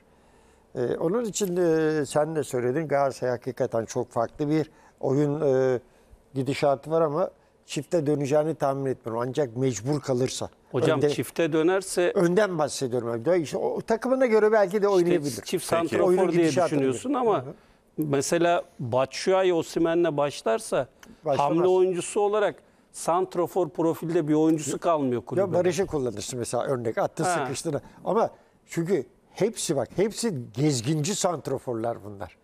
Hepsi gezgin mesela şey işte e, şöyle çok güzeldi ideal bir santrofordu. E, Icardi Osimhen. Osimhen veyahut da Icardi. Çünkü Icardi bir de adamın pasörlüğü var. Bencil bir oyuncu değil. Ya hocam bir de katılır mısın bilmiyorum. Bazı oyuncuların sırtına yapışıyor bu iş. Onunla devam ediyorlar. Batshuayi ilk 11'de oynadığı zaman Atamıyor. verim açısından değil mi? Yani istenilen verimin bir altında zamanın oynuyor. Semih Şentürk'ü genç Aynen seni. aynen. Yani çok iyi bir de çok iyi bir de yedek Adam- oyuncusu. Bir ya. de hocam bak son bölümde 20 30 işte Kapris soktuğun yapmıyor. zaman şey yaratıyor, skor yaratıyor ve verim alıyorsun. Tempo bir de böyle bir gerçek var Bir yani. de şey kapris olmayan bir de şöyle Ama şimdi abi adam da e, önündekilerine bir bakıyor tamam kendisi de hakikaten seviyesi yukarıda bir olan oyuncu. O Belçika'nın o gençlik Ya o da be, Belçika gençlik bir- milli takım santraforu. O gençlik şeyi vardı ya. Lukaku ile birlikte Kurdukları orada orada neler yapıyordu. Ama şimdi o da bir bakıyor abi Osimhen. Bir biyonik bir adam bu. Öbür tarafta Icardi ceza sahasında e, adam yürürken gol atıyor. Zaten yürürken gol atıyor. E, fazla sıra bir şey gerek yok. Sakatlanması da zaten çok mucize onun. Yani hakikaten o çive mi takıldı ne oldu sağdan mı? Peki. Son Yani- 15 dakika hocalarım. Son 15 dakika diyorsun e, Galatasaray hocamın da dediği gibi şu anda hepsinin üzerinde gözüküyor ama bu aldatmasın. Bir soru sormak istiyorum Galata sözünde ama çok Lütfen. kısa yorum rica edeyim. O da sebebi şu. Hani sorumun e, size sorma sebebim biraz şu. Sizden nihai noktada taraftardan ziyade bu ülke futboluna hizmet etmiş ve aynı zamanda bu ülke futboluna hizmet etmeye de devam edecek isimlersiniz. Almamalı. Osimhen. Almamalı. Hayır bonservis bedelini ödesin mi diyor da Osimhen. bence 75 milyon euro. Yarınları da düşünelim. Ülke futbolumuzu düşünelim. Bugünkü Güzel bir mevcut durumu şarkıydı. Allah düşünelim. rahmet eylesin İlhan Emin. Yarınlar. Yok pardon. Şey, e, nereden çıktı ya? E, neydi? Yarınlar bizim. Güzel bir şarkıydı. Evet, Çalardı. hatırladım ama kimin olduğunu hatırlamıyorum. İlhan Emin değil. e, rahmetli dedim. E, daha doğru. Vallahi 75-80 milyon desen ona. hocam yani Türkiye Ligi için bir plan mı? Ali Rıza Binboğa. Ha, Ali Rıza Yarınlar Binboğa. bizim. Yani, yarınlar bizim. Türkiye Ligi için düşünülüyorsa ki düşünülmüyor herhalde. Ama ben şu anda Türk Türkiye Ligi'nin bu rakamlara çok hazırlıklı olduğunu düşünmüyorum. Hocam 80 milyon da 75 değil mi? 80 Yani neyse milyon yani. yani 80 milyonu 3.2 milyar TL neredeyse. abi şimdi yaklaşık. 80 3 milyar milyon TL. 80 milyona takım tabii taraftarlar bize belki biraz kızacak Hayır ama lütfen kimse kızamaz. Yani- Nedenini söyleyeyim. Ee, ben Bütçe tamamen bu. bir taraftar bunu sorsa kimse hayır demez. Ya Evet, akıl- evet. Hayır Şimdi demek için akıl bir de tutulmasına gitmek lazım aklı- ama aklı ülkeyi senin- düşündüğün zaman gerçekçi mi? Aklı selim düşünmek lazım. Tabii, benim bir- derdim o zaten. O yüzden Yok, size bir soruyorum. İngiltere gibi değiliz. Televizyon gelirlerimiz falan belli yani. E, her şey hocam, şampiyonluk bi- belli. bi- primi hocam bile- bizim ligin gerçekleri Tabii var. ya, aynen öyle. Yani Şampiyonlar Ligi'nde iki maç kazandığın zaman bizim ligde Süper Lig primini alıyorsun. Yani. Yani bu gerçekler var Muratçım. Yani Hocam şampiyonluk primi bak şampiyon hedef hepimizin şampiyonluk değil mi bütün takımların? Evet. Şampiyon olduğun gün kazandığın para bugün bir kalbur üstü futbolcunun yıllık maaşının üçte biri. Hadi kazandığın galibiyet primlerini de ekle ona kazandığı maaşın yarısı yapıyor. Ya o yüzden bizim ülke gerçekliğimiz çok uzandı zaten mevcut Öyle. kadro planlamaları. Teşekkür ederiz bize izletiyor burada. Canlı Vallahi aynı izliyoruz. kanaatteyim. hayır hocam o, o, o Ama şu konuda var, şöyle- Galatasaray büyük iş yaptı. Biz Osimhen'i dediğin gibi ülkeye Okan Hoca'ya ayrıyetten ona da bir parantez açmak Herhalde lazım. yani. İletişim sayesinde olan bir transfer bu. Osimhen'i belki Osimhen Haziran ayında gidecek. Büyük ihtimalle gidecek. Ama biz ne diyeceğiz? Ulan biz Osimhen'i seyrettik. Ya. Ya, onun Ama işte üzerine Osimhen'i sen almış olsaydın da Napoli'ye falan gelmeden bunları bulup getirmiş olsaydın Yani. bu seviyelerde belki de e, sen bu paraları sen isterdin 100 milyonları falan ama o vakitte biz Osimhen'i kabul etmezdik. Hocam Türkiye Ligi'nde çok Osimhen gençti. olsaydı bir şey soracağım. Türkiye Ligi'nde Osimhen olsaydı gerçi az süremiz kaldı. Olmazdı diyorsun. değil mi? 75'e gidebilir miydi Mümkün Türkiye? değil. Doğru. Mümkün en değil. fazla 30'u bulurdun. Mümkün değil. Yani e, gene de sen bir şeyler çıkarırdın oradan ama e, çok farklı bir oyuncu ya. Hakikaten canlı izlediğin zaman görüyorsun şahit ol. Tamam televizyonda izledik. Napoli'de falan gördük. Afrika şampiyonlarında izledik ve adamı biliyorsun ama televizyonda izlemek farklı bir de canlı mekanda izlemek farklı. E, Kesinlikle. çok çok Kesinlikle. ekstranın ekstranın üzerinde. Hadi Beşiktaş'a geçelim. Hadi bakalım. Siyah beyazlar Malmö karşısında aldıkları galibiyet. Ondan önce Lyon galibiyeti. Ligde istenilen futboldan biraz uzak, istenilen sonuçlardan biraz uzak Beşiktaş. Avrupa'da e, biraz daha toparlanan bir Beşiktaş. Neler söylemek sağlıklı olur? Hocam sizinle başlayalım Beşiktaş bloğuna. Beşiktaş'ın mevcut tablosunu nasıl değerlendirirsiniz? Ya tabii Neler söylersiniz? Beşiktaş e, aslında Van Bronckhorst diyelim. Sezon başındaki yaptığı şeylerle şu an e, onların ekmeğini yiyor. Öncelikle onu söyleyeyim. Nedir? Galatasaray'ı Süper Kupa'da 5-0 yendi. E, akabinde hakikaten takım olarak 2-3 hafta çok iyi performans sergiledi. Ama gelinen noktada Beşiktaş'ın gerçekleri var Burak. Nedir? Beşiktaş'ın kadro derinliği iki tane rakibine göre aynı oranda değil. Bu bir gerçek. Beşiktaş'ın belli nedenlerden dolayı onu da ben anlıyorum taraftarlar anlamıyor ama ona da hemen açıklık getireyim. Yönetim kurulu bilmiyor muydu Beşiktaş'ın kenar oyuncusu eksikliğini? Biliyordu. Ama o kadar çok oyuncu göndermek zorunda kaldılar ki göndere bildikleri kadar gönderdiler. Hala var. Oraya bir planlama yapamadılar. Belki ekonomik nedenden, belki 26 tane oyuncu gönderdiğinden dolayı. E bunun bu bir eksiklik. Artı artı hocanın bir 11 üzerindeki ısrarı, kadro rekabetini bazı oyuncularla da olsa sağlayamaması. Artı Beşiktaş'ın oyununda çok önemli teşkil eden iki tane oyuncuyu, iki üç tane oyuncuya çok yük binmesi. Sonuç itibariyle gelinen noktada Beşiktaş Galatasaray'dan 10 puan geride, Fenerbahçe'den 5 puan geride. Herkes diyor ki Beşiktaş havlu attı mı? Bitti mi Beşiktaş için lig? Beşiktaş için lig bitmedi ama şöyle de bir gerçek var. Beşiktaş devre arasına kadar ki bunların içerisinde Fenerbahçe derbisi de var. Eğer bu puan kayıplarına devam ederse iki tane rakibinin de geçen seneden yaşanmışlıkları var. Çok az maç kaybediyorlar. Tulum çıkartıyorlar neredeyse. Yani bir de böyle bir gerçeği düşünürsek eee, Fenerbahçe eee, maçı hem Beşiktaş için hem Fenerbahçe için belirleyici bir maç olabilir. O maçtan sonra Beşiktaş için ya lige devam edebilir ibaresini kullanacağız ya da diyeceğiz ki Beşiktaş artık belirleyici bir takım olmuştur diyeceğiz. Yani şampiyonluk adaylarıyla oynayacağı maçları belirleyici olabilir, olur diye düşüneceğiz. Ee, aslında şunu da söylemek lazım. Hocayı da bu konuda çok eleştiriyorlar. Ama ben biraz farklı düşünüyorum. İstikrardan yana olduğum, olduğum için. Geçen sene bu takıma 6 tane hoca hatta bir hoca iki kere geldi. 6 tane hoca değiştirmiş bir takımdan bahsediyoruz. Sezon başı Beşiktaş'ın oynadığı oyunu da göz düşünürsek bırak ben Van Bronckhorst'un daha iyi bir kadroyla, daha e, alternatifli bir kadroyla daha camianın istediği bir oyunu, sürdürülebilir bir oyunu oynatabileceğini düşünüyorum.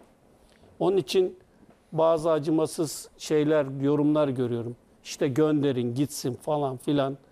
Daha lig bitmeden 10 puan bu hafta da yenir mi, fark yenir mi gibi. Ben açıkçası bunlara katılmıyorum. Biraz daha yapıcı olmak lazım. Hatta bunun içine yönetimi de sokuyorlar. Ya kardeşim bir kere doğru eleştirmek lazım. Adamların elinde bir enkaz vardı. Performans sergileyemedi. Herkesin alındığı 3-4 senelik sözleşme imzalayan oyuncular vardı. Bunları hocam sen de biliyorsun. imza atmak buraya atıyoruz işte çok kolay.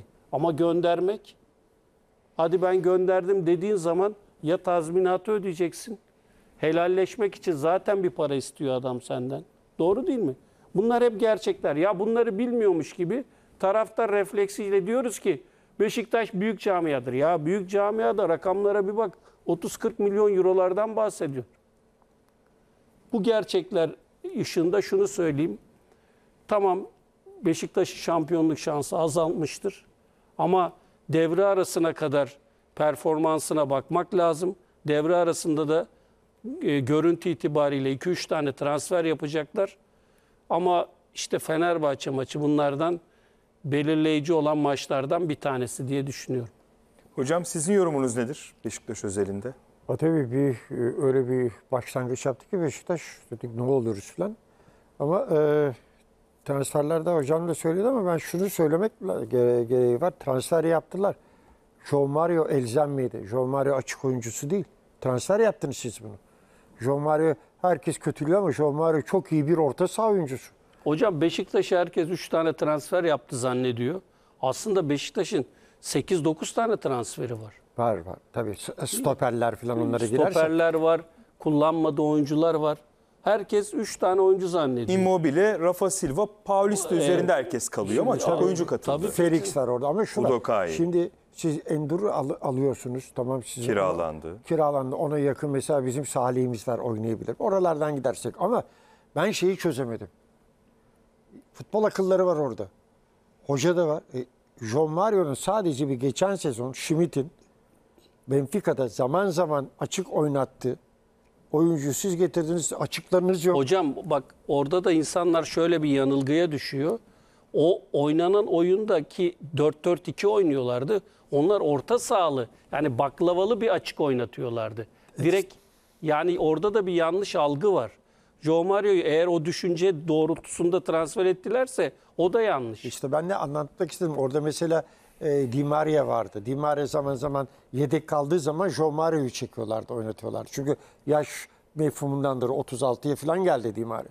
Zaman zaman değişkenli oynadı. Şimdi Joe Mario'nun esas ana noktası işte oynayabilecek Rafa'nın oynadığı gibi yerlerde. Oralardaki hakikaten kaliteli bir oyuncu. Futbolunda bir şey değil ama İvedi senin belli bir tek Raşitse'ye kalmışsın. Raşitse de senin kaldırır kaldırmaz. Herkes tartışırsın. Türkiye Ligi'nde bir sağ açık olarak oynuyor. Sana da fayda veriyor. Ama burada yok abi. Şu şeyi alacağına, e, Jomario'yu alacağına O da kiralandı. Başka bir alternatif başka bir tane miydi? açık alabilirdin. Hocam Endur'u alacağına Salih'e şans verip Şimdi- Endur'u da yani transfer politikası olarak almayabilirdi. O da Paris Saint Germain ilişkilerinden Yani kaynaklı Ama onlar kiralık. kiralık galiba. Tabii Şimdi- Mario da kiralık, o da Şimdi kiralık. kiralık alıyorsun da ama senin elzem yerin İhtiyacına orası uygun, mı? evet. Elzem yerin. En başta burası. Şimdi immobilyene bakıyorsun. Yani o tabiri kullanacağım. Deli tavuk gibi her yere koşuyor adam. Top almak için top gelmiyor. Rafa'ya top gelmedikten sonra öne taşıyamıyorsun. E Semih'i burada oynatmak istiyorsun. E çocuğun da yeri değil. Bocalıyor ve topla topla kavga etmeye çalışıyor. zorlanıyor. Santrofor oynarsan e, orada ya oyun formatını değiştireceksin. Immobile e, Semih yapacaksın. Oradan faydalanacaksın. Bu sefer arka ve açıkların yok. Peki Galatasaray'ın oyunu Beşiktaş oynayamaz mı? Oynayamaz tabii. Ha, Elinde- sen geçen burada yayında da söyle. Üçlü diyorsun. Üçlü savunma. Israrla da bunu söylüyorum. Hayır, Yani şunu- Onu bayağı dile getiren var hocam ama. bak sol tarafa Emirhan'ı Masuaku'yu koyacaksın. Orta sahanın soluna. Beşlinin solunda. Beşlinin soluna. Masuaku'dan çünkü verim alamıyorsun diyorsun savunmadan. Hücumdaki bari verimini arttır. Sağ tarafa Raşit Say'ı Veya koy. Svensson'u. Ya da Svensson'u koy. Yani Raşit varken Raşitson'u Rashica koyarsın. oynardı. Üçlü savunmayı da kurarsın. Udoka ile, Emirhan'la, Paulista ile. Orta sahan zaten en güçlü olduğun yer. Yani ne Muçi'yi küstürürsün, ne Mario'yu küstürürsün, ne Rafa Getson Silva'yı var. küstürürsün. Jason Fernandes'a keza El Musrati var. Yani Varoğlu var, Şerenduru var, Salih var. Yani orta sahada inanılmaz Oynuyor. bir Soruyu- birikimin var. Soruyu ben, İleride de soruyu ben şimdi anladım. Onu, onu ben e, ileride de bu- Semih ile Immobile. İkisini de küstürmezsin. iki hafta Oynayamaz evvel, mı? iki hafta evvel söylemiştim ben bunu. E, El Musaku'yu sallıyorlar ya. Arkasında abi niye sallıyorsun ki? Bunun görevi El Musaku'nun görevi değil ki. Eğer bu adam bu şekilde ofansif oynuyorsa ki biliyorsun bunu. Senelerden beri bu adam böyle oynuyor. Ya bunun arkasını kapatacak, itmeleri yapacaksın veyahut da format dediğin gibi üçlü çatır çatır oynarsın orada. E, ve şu anda Türkiye Ligi'nde emin ol, bu benim tabii ki kendi görüşüm. E, e, e, e, Musaku şeye Musrati. karıştı Musa. Masuaku. Masuaku gibi orta yapan o takım şey yok ya açık yok. Ama bir de defan- Caner var. Bak gene söylüyorum. Burak diyor ki hocam e, e, şeyi Anladım, onu. koyup arkaya Emirhan koyunca oradaki tedbirini de almış Ya oluyorsun işte ben de diyor. anladım demek istedim. Ben bunu iki hafta evvel burada anlatmaya çalıştım. Oynar mı? Oynar. Madem senin elinde bu kadar ofansife giden bir e, sol bekin diyelim ona. Böyle bir oyuncun varsa arkasını üçlüyle kapatırsın.